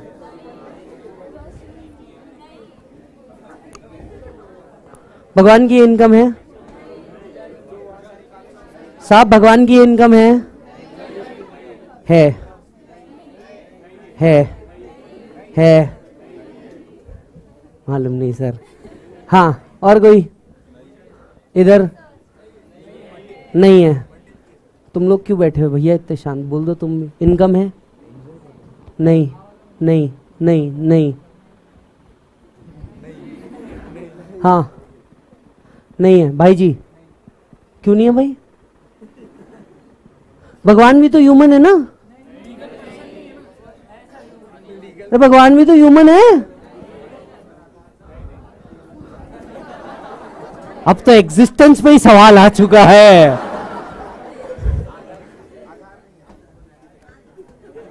सोचो, कितना बड़ा इशू है ये भी। बराबर चलिए नेक्स्ट सवाल। सट्टा, जुआ IPL Dream Eleven casino camel race horse race मुर्गी रेस चूहा race rat race ever in short इन सारी तरीके की एक्टिविटी को KBC Splitsvilla Roadies Bigg Boss और व्हाट्स इस तरीके की एक्टिविटी क्या ये इनकम है?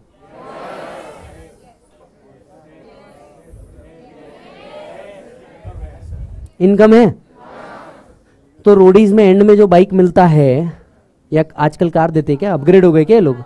कार दे रहे हैं अपग्रेड हो गए ये लोग। ठीक है, मेरे टाइम पे जब रोडीज आता था, तब बाइक देते थे। करिश्मा, पहले आता था जब। ठीक है, उसके बाद जीवन ने इस कोर्स में ला लिया, कुछ देखना ही नहीं हुआ। इसके बाद हमारा कुछ नहीं देखना हुआ। बिग बॉस हम घर पे खेल लेते हैं।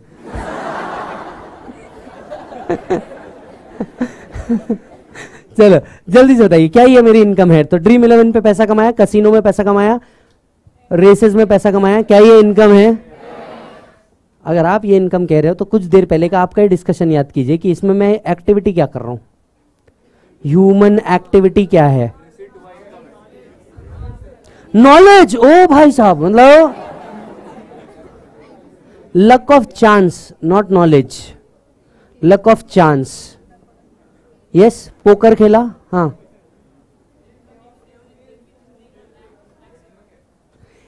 income is everything which is legal and taxable okay हाँ बोलो बोलो बोलो बोलो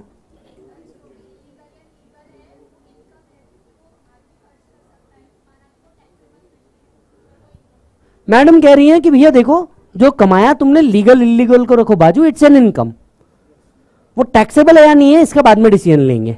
इट्स एन इनकम हम्म बैठ बैठ बैठ बैठ बैठ खड़े मत हो, पैसे आए. बैठ बैठ बैठ। एक मिनट पैसे आए तो भाड़ में कौन जाए? पैसा या आदमी? अच्छा कैसे आया वो तेल लगाने गया? हाँ.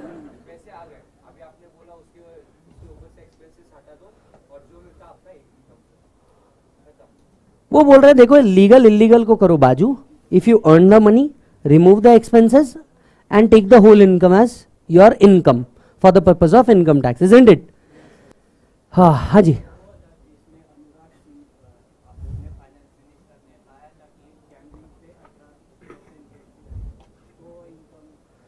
दो हज़ार अठारह में अनुराग सिंह ठाकुर जी करेक्ट इन्होंने लाया था जीएसटी पे अठारह परसेंट जीएसटी लाया था अठारह परसेंट पे कैमलिंग्स के ऊपर। ओके ओके अगर स्किल इन्वॉल्व है तो इनकम है but pure wagering is not an income income from other sources include की जाती है. If in income are income if it is on regular basis मतलब इरेगुलर एक्टिविटी से आने वाला इनकम नहीं है. चलिए इसी बात पे बात करते हैं डिविडेंड की. द लास्ट कंसेप्ट हमारा डिविडेंड था. डिविडेंड का क्या बोलते हो?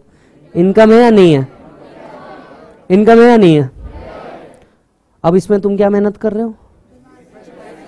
दिमाग लगा के हमने इन्वेस्टमेंट किया ओ तो फिर तो हर कंपनी ने तुम्हारे दिमाग का पैसा देना चाहिए but dividend paying is not mandatory payment of dividend is not mandatory it is the company's choice and availability of profit.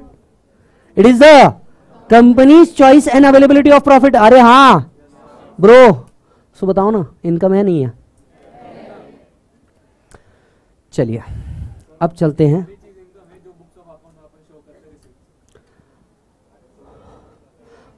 मेरा भाई कह रहा है, चलिए इस पे भी एक डिस्कशन लेते हैं, एक मिनट का। मेरा भाई कह रहा है, हर वो चीज़ जो हम बुक्स ऑफ़ अकाउंट्स में दिखाते हैं, हर वो चीज़ जो हम बुक्स ऑफ़ अकाउंट्स में दिखा रहे हैं, वो इनकम है। तो ये मेरे भाई के घर पे सोने की ईटें मिली थी, अब उसको टैक्स करने का राइट नहीं है हमारे पास। क्योंकि उसके घर पे मिली है मतलब बुक्स ऑफ़ अकाउंट्स में तो होगी नहीं। और बुक्स ऑफ़ अकाउंट्स में होगी नहीं। मतलब अब इनकम नहीं है तो इनकम टैक्स वालों को तो कोई राइट ही नहीं होना चाहिए था एंट्री नंबर 82 में भी। अगर आपके लॉजिक से चले तो।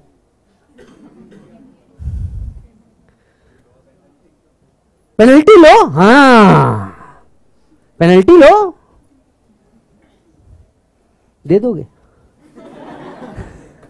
ट्रैफ़िक पुलिस का चलान तो देते नहीं। पेनल्टी दोगे तुम। वैसे, ये लोग जो पेनल्टी की बात कर रहे हैं, इनको पता है इनकम टैक्स में पेनल्टी कितनी है? इनकम टैक्स की पेनल्टी जो है ना बेटा, ये 200 परसेंट तक जाती है। 200 परसेंट ऑफ़ टैक्स पेएबल और टैक्स पेबल एओ निकालता है। समझ रहे हो बात को? चलो, अब आते हैं कंसेप्ट के ऊपर। इनकम इनकम ध्यान से सुनिएगा, लिखिए साहब। income. Income means receipt. But but every receipt is not an income. Income means receipt. Per her receipt. Income नहीं होती। इनकम मीन्स रिसीट पर हर रिसीट इनकम नहीं होती। इनकम मीन्स रिसीट पर हर रिसीट इनकम नहीं होती। रिसीट को आपको दो पार्ट में डिवाइड करना चाहिए। देखो, वैसे तो इनकम की एक डेफिनेशन है, पर आपको मैं इससे बेहतरीन तरीका बताता हूँ इनकम को कंसिडर करने का। इनकम मीन्स रिसीट, पर हर रिसीट इनकम नहीं होती। हर रिसीट इनकम नहीं होती। रिसीट दो प्रकार की होती है, दो मिनट के लिए हाथ रोकना। रिसीट दो प्रकार की होती है, एक होती है कैपिटल रिसीट, दूसरी होती है रेवेन्यू रिसीट। यस, रिसीट दो प्रकार की होती है, एक होती है कैपिटल रिसीट, दूसरी होती है रेवेन्यू रिसीट। हर रिसीट इनकम नहीं होती, इनकम मीन्स रिसीट, पर हर रिसीट इनकम नहीं होती, इनकम मीन्स रिसीट, पर हर रिसीट इनकम नहीं होती। चार चीज़ें कैपिटल रिसीट के अंदर में आती है। चार चीज़ें कैपिटल रिसीट में आती है। कैपिटल रिसीट्स आर लिखना कुछ भी मत are not liable to tax unless specified capital receipts are not liable to tax unless specified capital receipts taxable ही नहीं है जब तक कि वो स्पेसिफाई ना कर दिया जाए स्पेसिफिकली एक्ट के द्वारा right revenue receipts are always chargeable to tax, लिखना कुछ भी मत, सिर्फ़ सुनते रहो। Are always chargeable to tax, बराबर है? कैपिटल रिसीट चार प्रकार के होते हैं। पहला, लोन। एग्ज़ाम्पल समझते जाए। लोन। बैंक ने मेरे को लोन दिया। दोस्त ने मेरे को लोन दिया। पैसा आ गया। Every receipt is not an income. ये मेरे लिए लाइबिलिटी है। ये मेरी इनकम नहीं है। तो पैसा आया, कुछ बच्चे यहाँ पे जो एक्सप्लेनेशन दे रहे थे, पैसा आया तो ये इनकम है। गलत। हर पैसा जो आपको मिल रहा है वो आपका इनकम नहीं हो सकता। हो सकता है ये लोन हो। हो सकता है किसी अन्य प्रकार की लाइबिलिटी हो लाइक डिवेंचर और bond liability is a much wider word loan is included in liability but हम बॉन्ड या डिवेंचर होगा। बॉन्ड या डिवेंचर है। पैसा आया होगा अगेंस्ट द बॉन्ड पर क्या ये आपकी इनकम है? कंपनी डिवेंचर इशू कर रही है cash and bank account debit to debenture to particular person whatever contra entry आप जो पास कर रहे हो, क्या ये आपकी इनकम है? नहीं, ये आपकी रिसीट है, पर हर रिसीट इनकम नहीं होती। तीसरा capital capital is also covered in the definition of liability only but मैं आपको सिर्फ़ अलग अलग पार्ट में बता रहा हूँ। राइट कैपिटल मैंने मेरे बिज़नेस के अंदर में पैसा डाला। मैंने मेरे बिज़नेस के अंदर में क्या किया? पैसा डाला। Right right? सो so आप मुझे बताइए बिज़नेस के लिए ये इनकम हो गई क्या? Person and business are separate legal entity business के लिए इनकम हो गई क्या वो? नहीं, वो क्या है उनके लिए? लाइबिलिटी और चौथा है बेटा पर्सनल इफेक्ट्स चौथा क्या है बेटा? पर्सनल इफेक्ट्स पर्सनल इफ़ेक्ट मतलब जो चीज़ आप अपने पर्सनल यूज़ के लिए यूज़ कर रहे हैं, इसके लिए कभी भी आपको क्या नहीं आता? Tax let me give you few example आपने आपके डैड को देखा होगा, उनने पुराना स्कूटर या पुराना कार सेल किया। क्या इस पर कभी उन्होंने टैक्स भरा? नहीं। आपके घर पे रद्दी सेल होता है टीवी सेल होता है फ्रिज सेल होता है सोफा सेल होता है राइट ये सारी चीज़ें पर्सनल यूज़ के लिए यूज़ की गई है। जो चीज़ें पर्सनल यूज़ के लिए यूज़ की जाती है राइट right? इसको जब आप बेचते हो, इसके ऊपर क्या नहीं आता? इनकम नहीं जनरेट होता। फॉर एग्ज़ाम्पल आपका मोबाइल आपने OLX पे अपना मोबाइल सेल कर दिया। क्या ये आपकी इनकम है? आंसर इज़ नो क्या ये आपकी इनकम है? आंसर इज़ नो इसे इनकम माना नहीं जाएगा। क्यों नहीं माना जाएगा? ये क्या है बेटा? पर्सनल इफ़ेक्ट हालाँकि पर्सनल इफ़ेक्ट के कुछ एक्सेप्शन भी है। There are certain exception refer capital gains for example gold and immovable property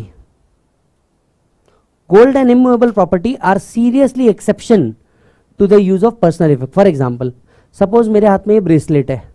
क्या मैं इसे पर्सनल यूज़ के लिए यूज़ कर रहा हूँ? मैं जब भी इसे बेचने जाऊँगा I will be liable to tax इसे कैपिटल रिसीट नहीं माना जाएगा एक्सेप्शन में कवर्ड है। काय में कवर्ड है? एक्सेप्शन आपने देखा होगा आपकी मम्मी क्या करती है? ओल्ड गोल्ड देती है और बदले में न्यू गोल्ड ले लेती है। Is this transaction subject to capital gain yes is this transaction liable to tax yes because this is covered in the exception to personal effect भले ही आप उसे पर्सनल यूज़ के लिए यूज़ कर रहे हैं, पर इस पर टैक्स आएगा। So there are certain exception दूसरा है इमूवेबल प्रॉपर्टी फॉर एग्ज़ाम्पल आपका घर। जिस घर में आप पर्सनली रह रहे हो, ये तो पर्सनल यूज़ के लिए यूज़ हो रहा है। इसके ऊपर कैपिटल रिसीट आना चाहिए था, इसे एक्सक्लूड किया गया है। इमूवेबल प्रॉपर्टी जब आप घर जिसमें आप रह रहे हो, आप इसको बेच रहे हो this will be liable to tax so there are certain exception और भी बड़ी लिस्ट है ऐसा नहीं है इतना ही है पर हम वो कैपिटल गेन में देखेंगे। सो so, चार चीज़ें किसमें आती है बेटा? कैपिटल रिसीट में आती है। तो जब भी पैसा मिले सबसे पहले अपने आप से सवाल पूछे क्या ये लोन है? अगर हाँ capital receipt not liable to tax अगर ना रेवेन्यू रिसीट राइट आप इसको अब ऐसे कैटेगराइज करना चालू करो। आप ये छोड़ दो कमाया कैसे? आप इसको इस तरह से सोचना चालू कर दो that is it a capital receipt और revenue receipt if it is a capital receipt not taxable except in the case जहाँ पे दिया हुआ है if it is a revenue receipt always chargeable to tax always chargeable to tax I you getting my point so सबसे पहले पैसा मिला, सोचने का, क्या ये लोन है? क्या ये लाइबिलिटी है? क्या ये कैपिटल है? क्या ये पर्सनल इफ़ेक्ट है? अगर हाँ आया तो capital receipt not chargeable to tax अगर ना आया तो every receipt which is not a capital receipt is a revenue receipt always chargeable to tax अब एक एक सवाल पूछता हूँ। सबसे पहले, मैंने स्मगलिंग करी, डाका डाला इलीगल चीज़ें बेचा। लगाओ एप्लीकेशन करो। लगाओ एप्लीकेशन करो। कैपिटल रिसीट है या रेवेन्यू रिसीट है? कैसे डिसाइड किया? क्या ये लोन है? क्या ये लाइबिलिटी है? क्या ये पर्सनल इफ़ेक्ट है? क्या ये कैपिटल है? क्या हुआ ये? Revenue receipt revenue receipt is always chargeable to tax आइए आपको सुप्रीम कोर्ट जजमेंट पढ़ाता हूँ इस कंसेप्ट के ऊपर। एक सुप्रीम कोर्ट जजमेंट है T A Qureshi. T A Qureshi Supreme Court का एक जजमेंट है। जजमेंट में हुआ क्या था? चलिए ध्यान से समझते हैं। केस में हुआ क्या था? केस में यह हुआ था that assessee was T A Qureshi जो कुछ चीज़ें क्या करते थे? स्मगल करते थे इंडिया में। एक दिन स्मगलिंग के दौरान क्या किया? इनका जो गुड्स था, वो कॉन्फिसिकेट कर लिया कस्टम डिपार्टमेंट वालों ने। क्या कर लिया? जब्त कर लिया। कॉन्फिसिकेट कर लिया कस्टम डिपार्टमेंट वालों ने। अब जितना इन लोगों ने कॉन्फिसिकेट कर लिया, टीए कुरेशी जब अपने फाइनेंशियल्स बना रहे थे, जितना सामान जब्त हो गया कॉन्फिसिकेट हो गया, उन्होंने प्रॉफिट एंड लॉस के अंदर में लिख दिया लॉस फ्रॉम कॉन्फिसिकेशन एओ एक मिनट, आपका गुड्स कस्टम डिपार्टमेंट वालों ने क्या किया है? कॉन्फिसिकेट किया है। ये आपका लॉस नहीं है, आप इलीगल एक्टिविटी कर रहे थे। T A Qureshi. अच्छा? सर, ये एक्टिविटी मैं आज से नहीं कर रहा हूँ, पिछले पंद्रह साल से कर रहा हूँ। ये एक्टिविटी मैं पिछले पंद्रह साल से कर रहा हूँ, लेकिन पिछले पंद्रह साल से मैं इस इनकम पे टैक्स भी दे रहा हूँ। अगर आप कह रहे हो कि ये इलीगल है तो मेरी इनकम भी आपने टैक्स नहीं करनी चाहिए। अगर आप मेरी इनकम को टैक्स करते हैं तो मेरे लॉसेस को भी आपने अलाउ करना चाहिए। या तो आपने इनकम भी टैक्स नहीं करनी चाहिए मेरी। मैटर कोर्ट पे गया जज डिपार्टमेंट ठीक माय लॉर्ड ये पहले इलीगल एक्टिविटी करते हैं। और इलीगल एक्टिविटी करने के बाद ये एक्सपेंसेस पीएनएल में क्लेम कर रहे हैं। ऐसा नहीं होना चाहिए। सर एक मिनट क्यों नहीं होना चाहिए? आप बात समझिए सर क्यों नहीं होना चाहिए? ये काम ही गलत है। मेरी जब इनकम टैक्स करने की बारी आ रही थी, तब तो बड़ा इनकम है टैक्स दो इनकम है टैक्स दो। आज जब मेरे खर्चे करने की बारी आ रही है, आज जब मेरे लॉसेस क्लेम करने की बारी आ रही है, आप मना कर रहे हैं। इसका क्या मतलब हुआ? I like you as a friend आपको मेरी इनकम पसंद है, पर आपको मेरे लॉसेज नहीं। ध्यान से सुनिएगा, जो तुम मेरी सक्सेस में रहना चाहती हो, मेरे बुरे समय में भी साथ रहना होगा। बात समझ रही हो?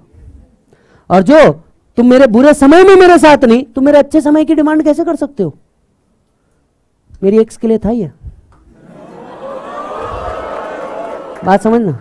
हाँ भाई, अपन भी समझो खैर, वो बाद में कभी डिस्कस करेंगे। धंधे पे ध्यान देते हैं।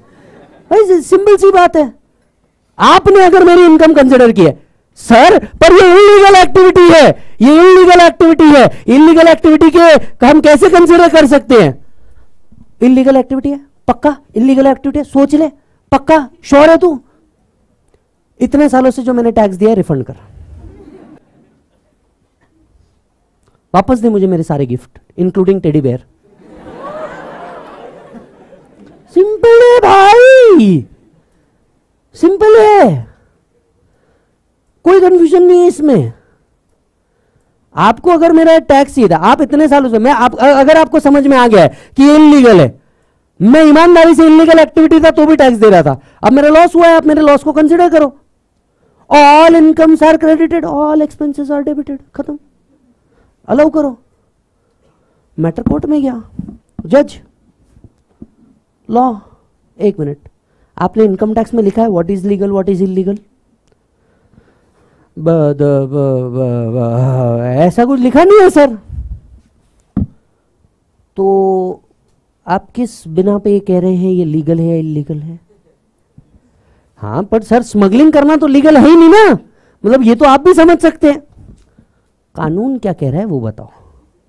लॉ में लिखा है क्या लीगल है क्या इलीगल है? सर एक्चुअली इनकम टैक्स में तो लिखा ही नहीं है क्या लीगल है, क्या इलीगल है। या तो सिर्फ़ इनकम की बात चल रही है। Exactly income is income income tax has nothing to do with legal और इलीगल सिविल प्रोसीजर कोड एक सेपरेट लॉ बनाया गया है। क्रिमिनल प्रोसीजर कोड एक सेपरेट लॉ बनाया गया है। वहाँ जाकर के देखते बैठे ये लीगल है या इलीगल है। Income tax has nothing to do with legal और हमको कोई लेन देन नहीं है लीगल या इलीगल है। इनकम टैक्स सिर्फ़ इनकम पे मरता है, वो सिर्फ़ पैसा पैसा करता है और पैसे पे ही मरता है।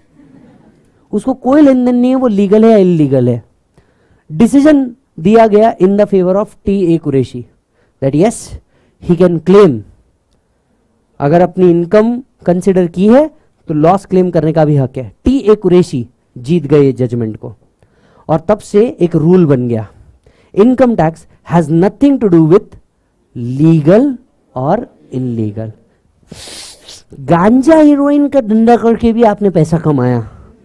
इनकम टैक्स को कोई लेन देन नहीं. गांजा हीरोइन का धंधा क्या? जेल में जाओगे criminal procedure code income tax income पे टैक्स ज़रूर लेगा. इनकम टैक्स को कोई लेन देन नहीं, पैसा आ कहाँ से रहा है? सॉर्टेड हो गया मालिक आदो के जीवन में? और ये मैं नहीं कह रहा, वो खुद यही जानते हैं. टी ए कुरेशी को सब पहचानते हैं. ध्यान से सुनिएगा. टी ए कुरेशी जजमेंट दिमाग में फिट रखना इस जजमेंट को कि साहब जजमेंट कहता है इलीगल एक्टिविटी भी से हमें इनकम टैक्स में कोई लेन देन नहीं है. Getting my point so income tax has nothing to do with legal और illegal T A Qureshi Supreme Court judgement लिखेंगे सिर्फ़ जजमेंट एक्सप्लेन किया मैंने आपको अभी. इसको भी लिखेंगे रुक जाना. Right right? सो so, अब आगे का स्टोरी भी जानना चाहोगे हुआ क्या इसके बाद? अरे हाँ. हुआ ये कि इनकम टैक्स डिपार्टमेंट हारा था. इनकम टैक्स डिपार्टमेंट हारा था। और जब जब इनकम टैक्स डिपार्टमेंट हारा है ना बेटा, तब तब हुआ है amendment next year budget next year budget department हार गया था, पर डिपार्टमेंट ऐसी एक्टिविटी को प्रमोट करना चाह रहा होगा क्या? नहीं डिपार्टमेंट गया आगे। अगले साल बजट ठीक है? क्या जजमेंट था जरा सुनिए। और मज़ा आएगा तो साहब दोनों हाथों को जोड़ लीजिएगा ताली बजाते हुए। ध्यान से सुनना। पॉइंट ये था, अगले साल बजट के अंदर में। Finance minister with respect to the supreme court judgement T A Qureshi we hereby says that even illegal income will be liable to tax we have no issue however we are making an amendment in section 37 that expenses or losses related to illegal activity will not be allowed as deduction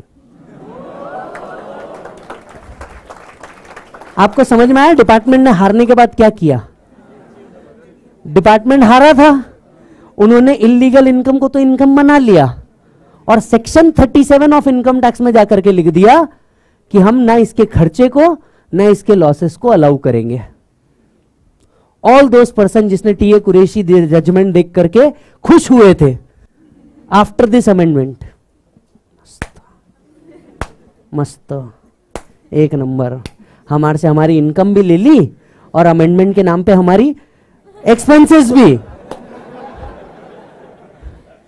amendment के नाम पे हमारी expenses की भी band बजा दी who is the ultimate winner income tax और हर बार ऐसा होता है। मैं कितने जजमेंट तुम्हें बता सकता हूँ। जहाँ पे डिपार्टमेंट हारा था और बाद में आया था amendment Vodafone case is one such case you know department हारा वोडाफोन केस में भी। और अल्टीमेटली अल्टीमेटली रेट्रोस्पेक्टिव अमेंडमेंट ला दिया। अल्टीमेटली क्या ला लिया? रेट्रोस्पेक्टिव अमेंडमेंट ला लिया। एक जन ने अभी मेरे से थोड़ी देर पहले पूछा था रेट्रोस्पेक्टिव अमेंडमेंट का क्या होता है? जब जब इनकम टैक्स डिपार्टमेंट हारता है, तब तब रेट्रोस्पेक्टिव अमेंडमेंट आता है। तब तब रेट्रोस्पेक्टिव अमेंडमेंट आता है। I you getting my point so जब भी पैसा मिले, सबसे पहले सुनो, क्या ये कैपिटल रिसीट है या रेवेन्यू रिसीट है? कैपिटल रिसीट कितने प्रकार की होती है? चार। Loan liability capital personal event बताइए डिविडेंड कौन सी इनकम हुई? कैपिटल या रेवेन्यू रेवेन्यू रिसीट मैं रास्ते से जा रहा था, भेलपुरी का रहा था, अचानक दो हज़ार रुपए का नोट मिला। रेवेन्यू रिसीट रेवेन्यू रिसीट बराबर है? इसके बाद मैंने मेरा दांत बेच मारा, सोने का।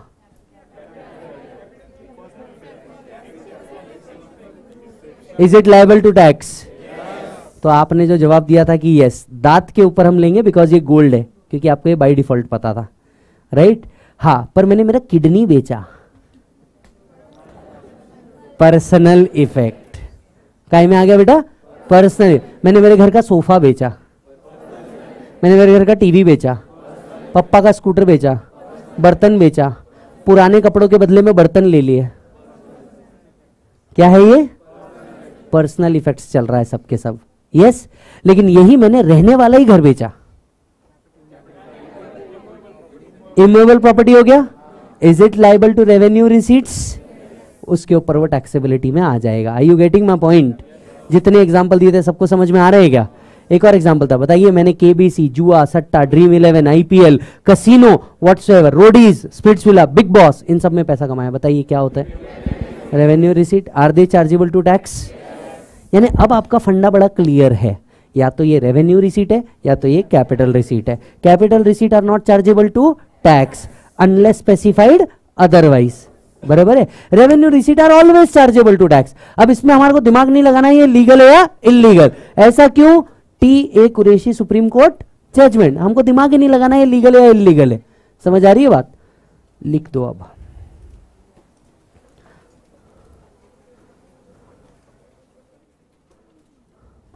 हैंड राइटिंग अच्छी है ना मेरी? नहीं ना? थैंक्स फॉर अप्रिसिएशन रिसीट दो प्रकार की, मैं डिक्टेट भी कर रहा हूँ प्लीज़ देखिए. रिसीट दो प्रकार की कैपिटल रेवेन्यू रिसीट दो प्रकार की capital revenue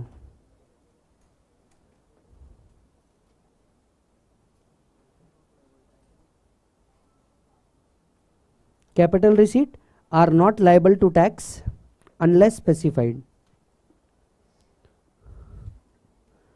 capital receipt not liable to tax unless specified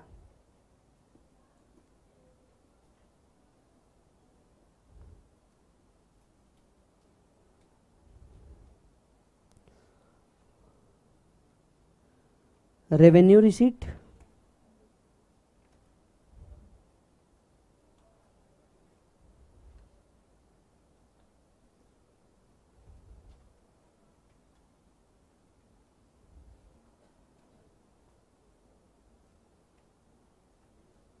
revenue receipt, always chargeable to tax.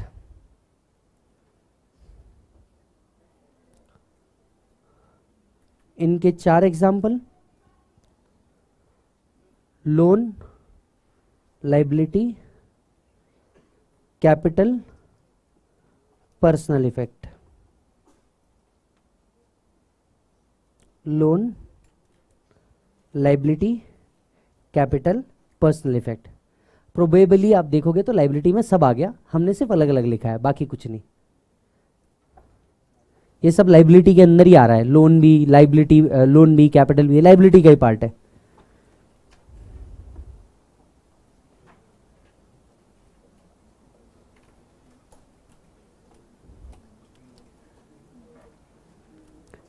Exception refers capital gain exception refer capital gain example gold and immovable property ji sir, सवाल था आपका। सोनी की जगह चांदी का दांत होता तो क्या करते? कैपिटल गेन के अंदर में आएगा। हालाँकि जवाब ये है कैपिटल रिसीट नहीं माना जाता। हाँ जी सर।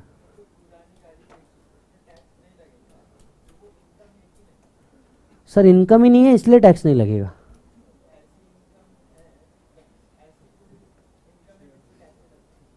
ऐसी कोई इनकम है क्या जिस पर टैक्स नहीं लगता? सर बिल्कुल एग्रीकल्चर इनकम इनकम है पर टैक्स नहीं लगता। इसके लाया जाता है। बहुत सारी इनकम है वैसे। Revenue receipt always chargeable to tax unless deduction और exemption is given unless deduction और exemption is given revenue receipt are always chargeable to tax unless deduction or exemption is given unless deduction or exemption is given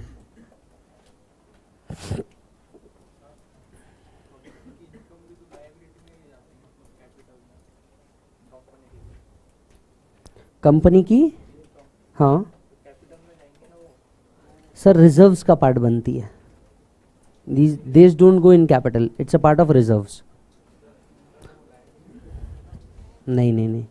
that is shareholders wealth जो आपको share holder को वापस करनी है किसी दिन तो आप सिर्फ़ उसको बाजू रख रहे हो अक्यूमुलेट कर रहे हो in the name of reserves बहुत सारे? पर्सनल इफ़ेक्ट में money laundering is the wrong word बहुत सारे टैक्स प्लानिंग हो सकता है is the right word right हो सकता है, होता है. हो सकता नहीं, होता है। हाँ जी। Antique paintings and cars yes antique painting is a capital it's a capital asset उसको बेचोगे, आएगा इनकम हालाँकि कार्स जो है एंटिक कार्स को अगर आप बात कर रहे हो तो पर्टिकुलरली इसको जब आप सेल करते हैं तो नहीं आता। रीजन बिंग क्योंकि एक असेट की डेफिनेशन में नहीं आता। अंडरस्टैंड आपके मन में ऐसे बहुत सारे आइटम हो सकते हैं। बट अनलेस एंड अनटिल जब तक कि आप कैपिटल एसेट की डेफिनेशन नहीं पढ़ोगे in the chapter capital gain तब तक कि इसका क्लैरिटी नहीं आएगा। क्योंकि अपन एक एक आइटम पे डिस्कस करते जाएँगे तो ये बहुत लंबी चीज़ हो जाएगी। जैसे अभी अपन ने इनकम के डेफिनेशन को एक कट शॉर्ट में डाला, या तो ये है तो इधर डालना है, ये है तो इधर डालना है। वैसे ही बहुत सारी चीज़ें आ सकती है इसके अंदर में। और एक बात याद रखिए एनीवन कोई जवाब दे सकता है सोर्सेस ऑफ़ इनकम कितने हैं? फाइव कौन कौन से?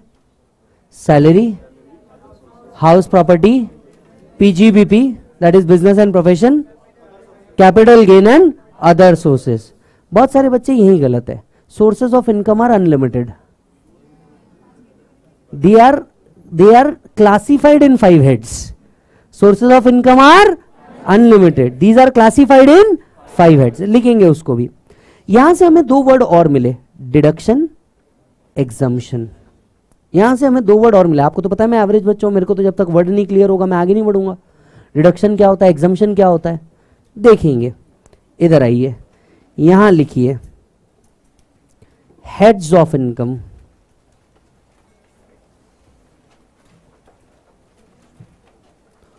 sources of income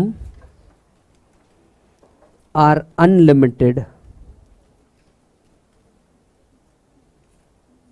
classified in five heads. सबसे पहला हेड है सैलरी दूसरा हेड है हाउस प्रॉपर्टी जिसको हम प्यार से कहते हैं एचपी तीसरा है profit and gains oh profit and gains from business और प्रोफेशन जिसे हम प्यार से कहते हैं PUBG sorry PGBP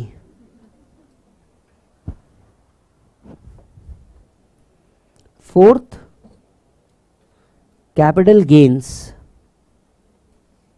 इसे हम प्यार से कहते हैं सीजी एंड पाँच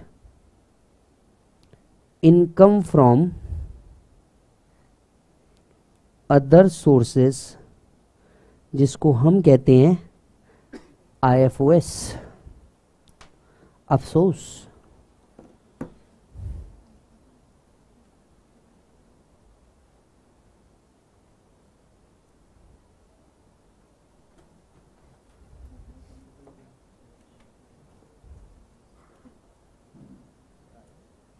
IFOS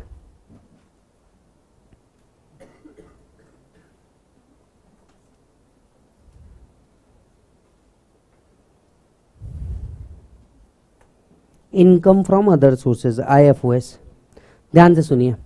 अगर आदमी जॉब कर रहा है सैलरी कमा रहा है income will go into this head called as salary अगर घर किराए पे दिया है प्रीमाइसेस किराए पे दिया है रेंट आ रहा है एचपी आप बिज़नेस या प्रोफेशन में हैं पीजीबीपी आपने अपना कैपिटल एसेट उठा के सेल कर दिया।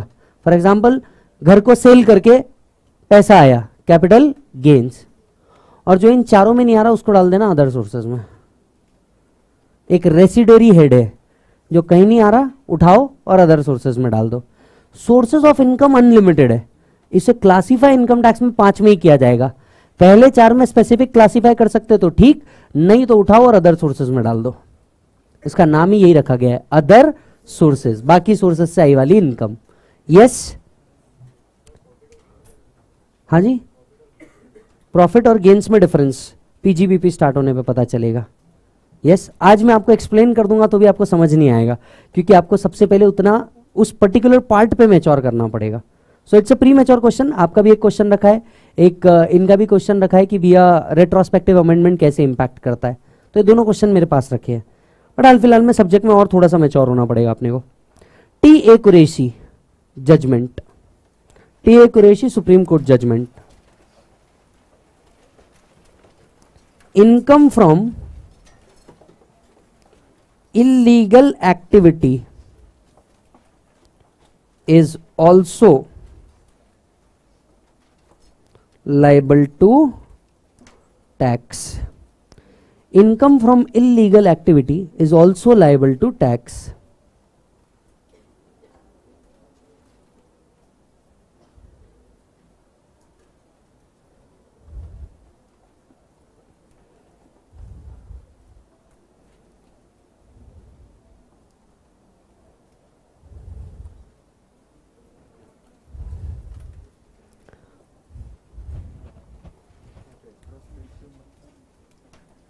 आएगा। नहीं डिस्कस किया मैंने। इज़ दैट डन हाँ तो आई थिंक बहुत सारा क्लियर है इनकम के पार्ट को भी लेकर के। बट क्या इनकम इनकम टैक्स में डिफाइंड है? Answer is yes the word income is defined in income tax section two subsection twenty four so do we कुछ और क्लैरिफिकेशन बुक्स बुक्स बंद कर दो, खत्म हो गया आज का लेक्चर ठीक है? कुछ और चीज़ें जो हमें समझनी चाहिए। पॉइंट नंबर वन क्या हमें सेक्शन नंबर याद रखना है? आंसर इज़ नो क्या हमें सेक्शन नंबर याद रखना है? आंसर इज़ नो याद हो जाएँगे, इसकी गारंटी मेरी। इसकी गारंटी मेरी। सर क्या हमें केस लॉ के नाम याद रखना है? नो याद हो जाएँगे, इसकी गारंटी मेरी। बराबर है? सो टेंशन नहीं लेना ना आपको एग्ज़ाम में कोट करने की ज़रूरत होती है। अनलाइक लॉ लॉ में जैसे आपको हर चीज़ कोट करनी होती है डीटी में वैसा काम नहीं होता। डीटी में एप्लीकेशन ज़्यादा है कोटिंग कम है राइट अच्छा जी दूसरी बात आ, कल सबके पास मेरे को कैलकुलेटर चाहिए मैंडेटरीली स्केल चाहिए पेन चाहिए क्योंकि कल हम टैक्स पे जाएँगे कैलकुलेशन ऑफ़ टैक्स वाले वर्ड पे जाएँगे। तो कल वाला पार्ट तो बिल्कुल ही मिस करने की गलती मत करना राइट और आ, तीसरा जिनका एडमिशन नहीं हुआ है प्लीज़ रुको, मेरे को पहले एटलीस्ट कुछ वर्कआउट करना है तो एक दो दिन का थोड़ा सा मैस है राइट बट हमारे को भी ये नहीं पता था मैस आपकी तरफ़ से भी हुआ है कि आपने पहले नहीं किया। अब मेरे को इस चीज़ को थोड़ा सा क्लियर करने के लिए टाइम दो आई वर्कआउट डोंट वरी कुछ तो वर्कआउट करूँगा राइट चलिए, यहाँ तक के क्लियर है? पक्का? Done thank you so much guys bye बोलो बच्चों any student any kind of doubt please ask बाकी जिसका हो गया है, कोई डाउट नहीं है, फटाफट निकलो। नाश्ता करो, दूसरे क्लास में जाना है। जिसका है, जल्दी से पूछो।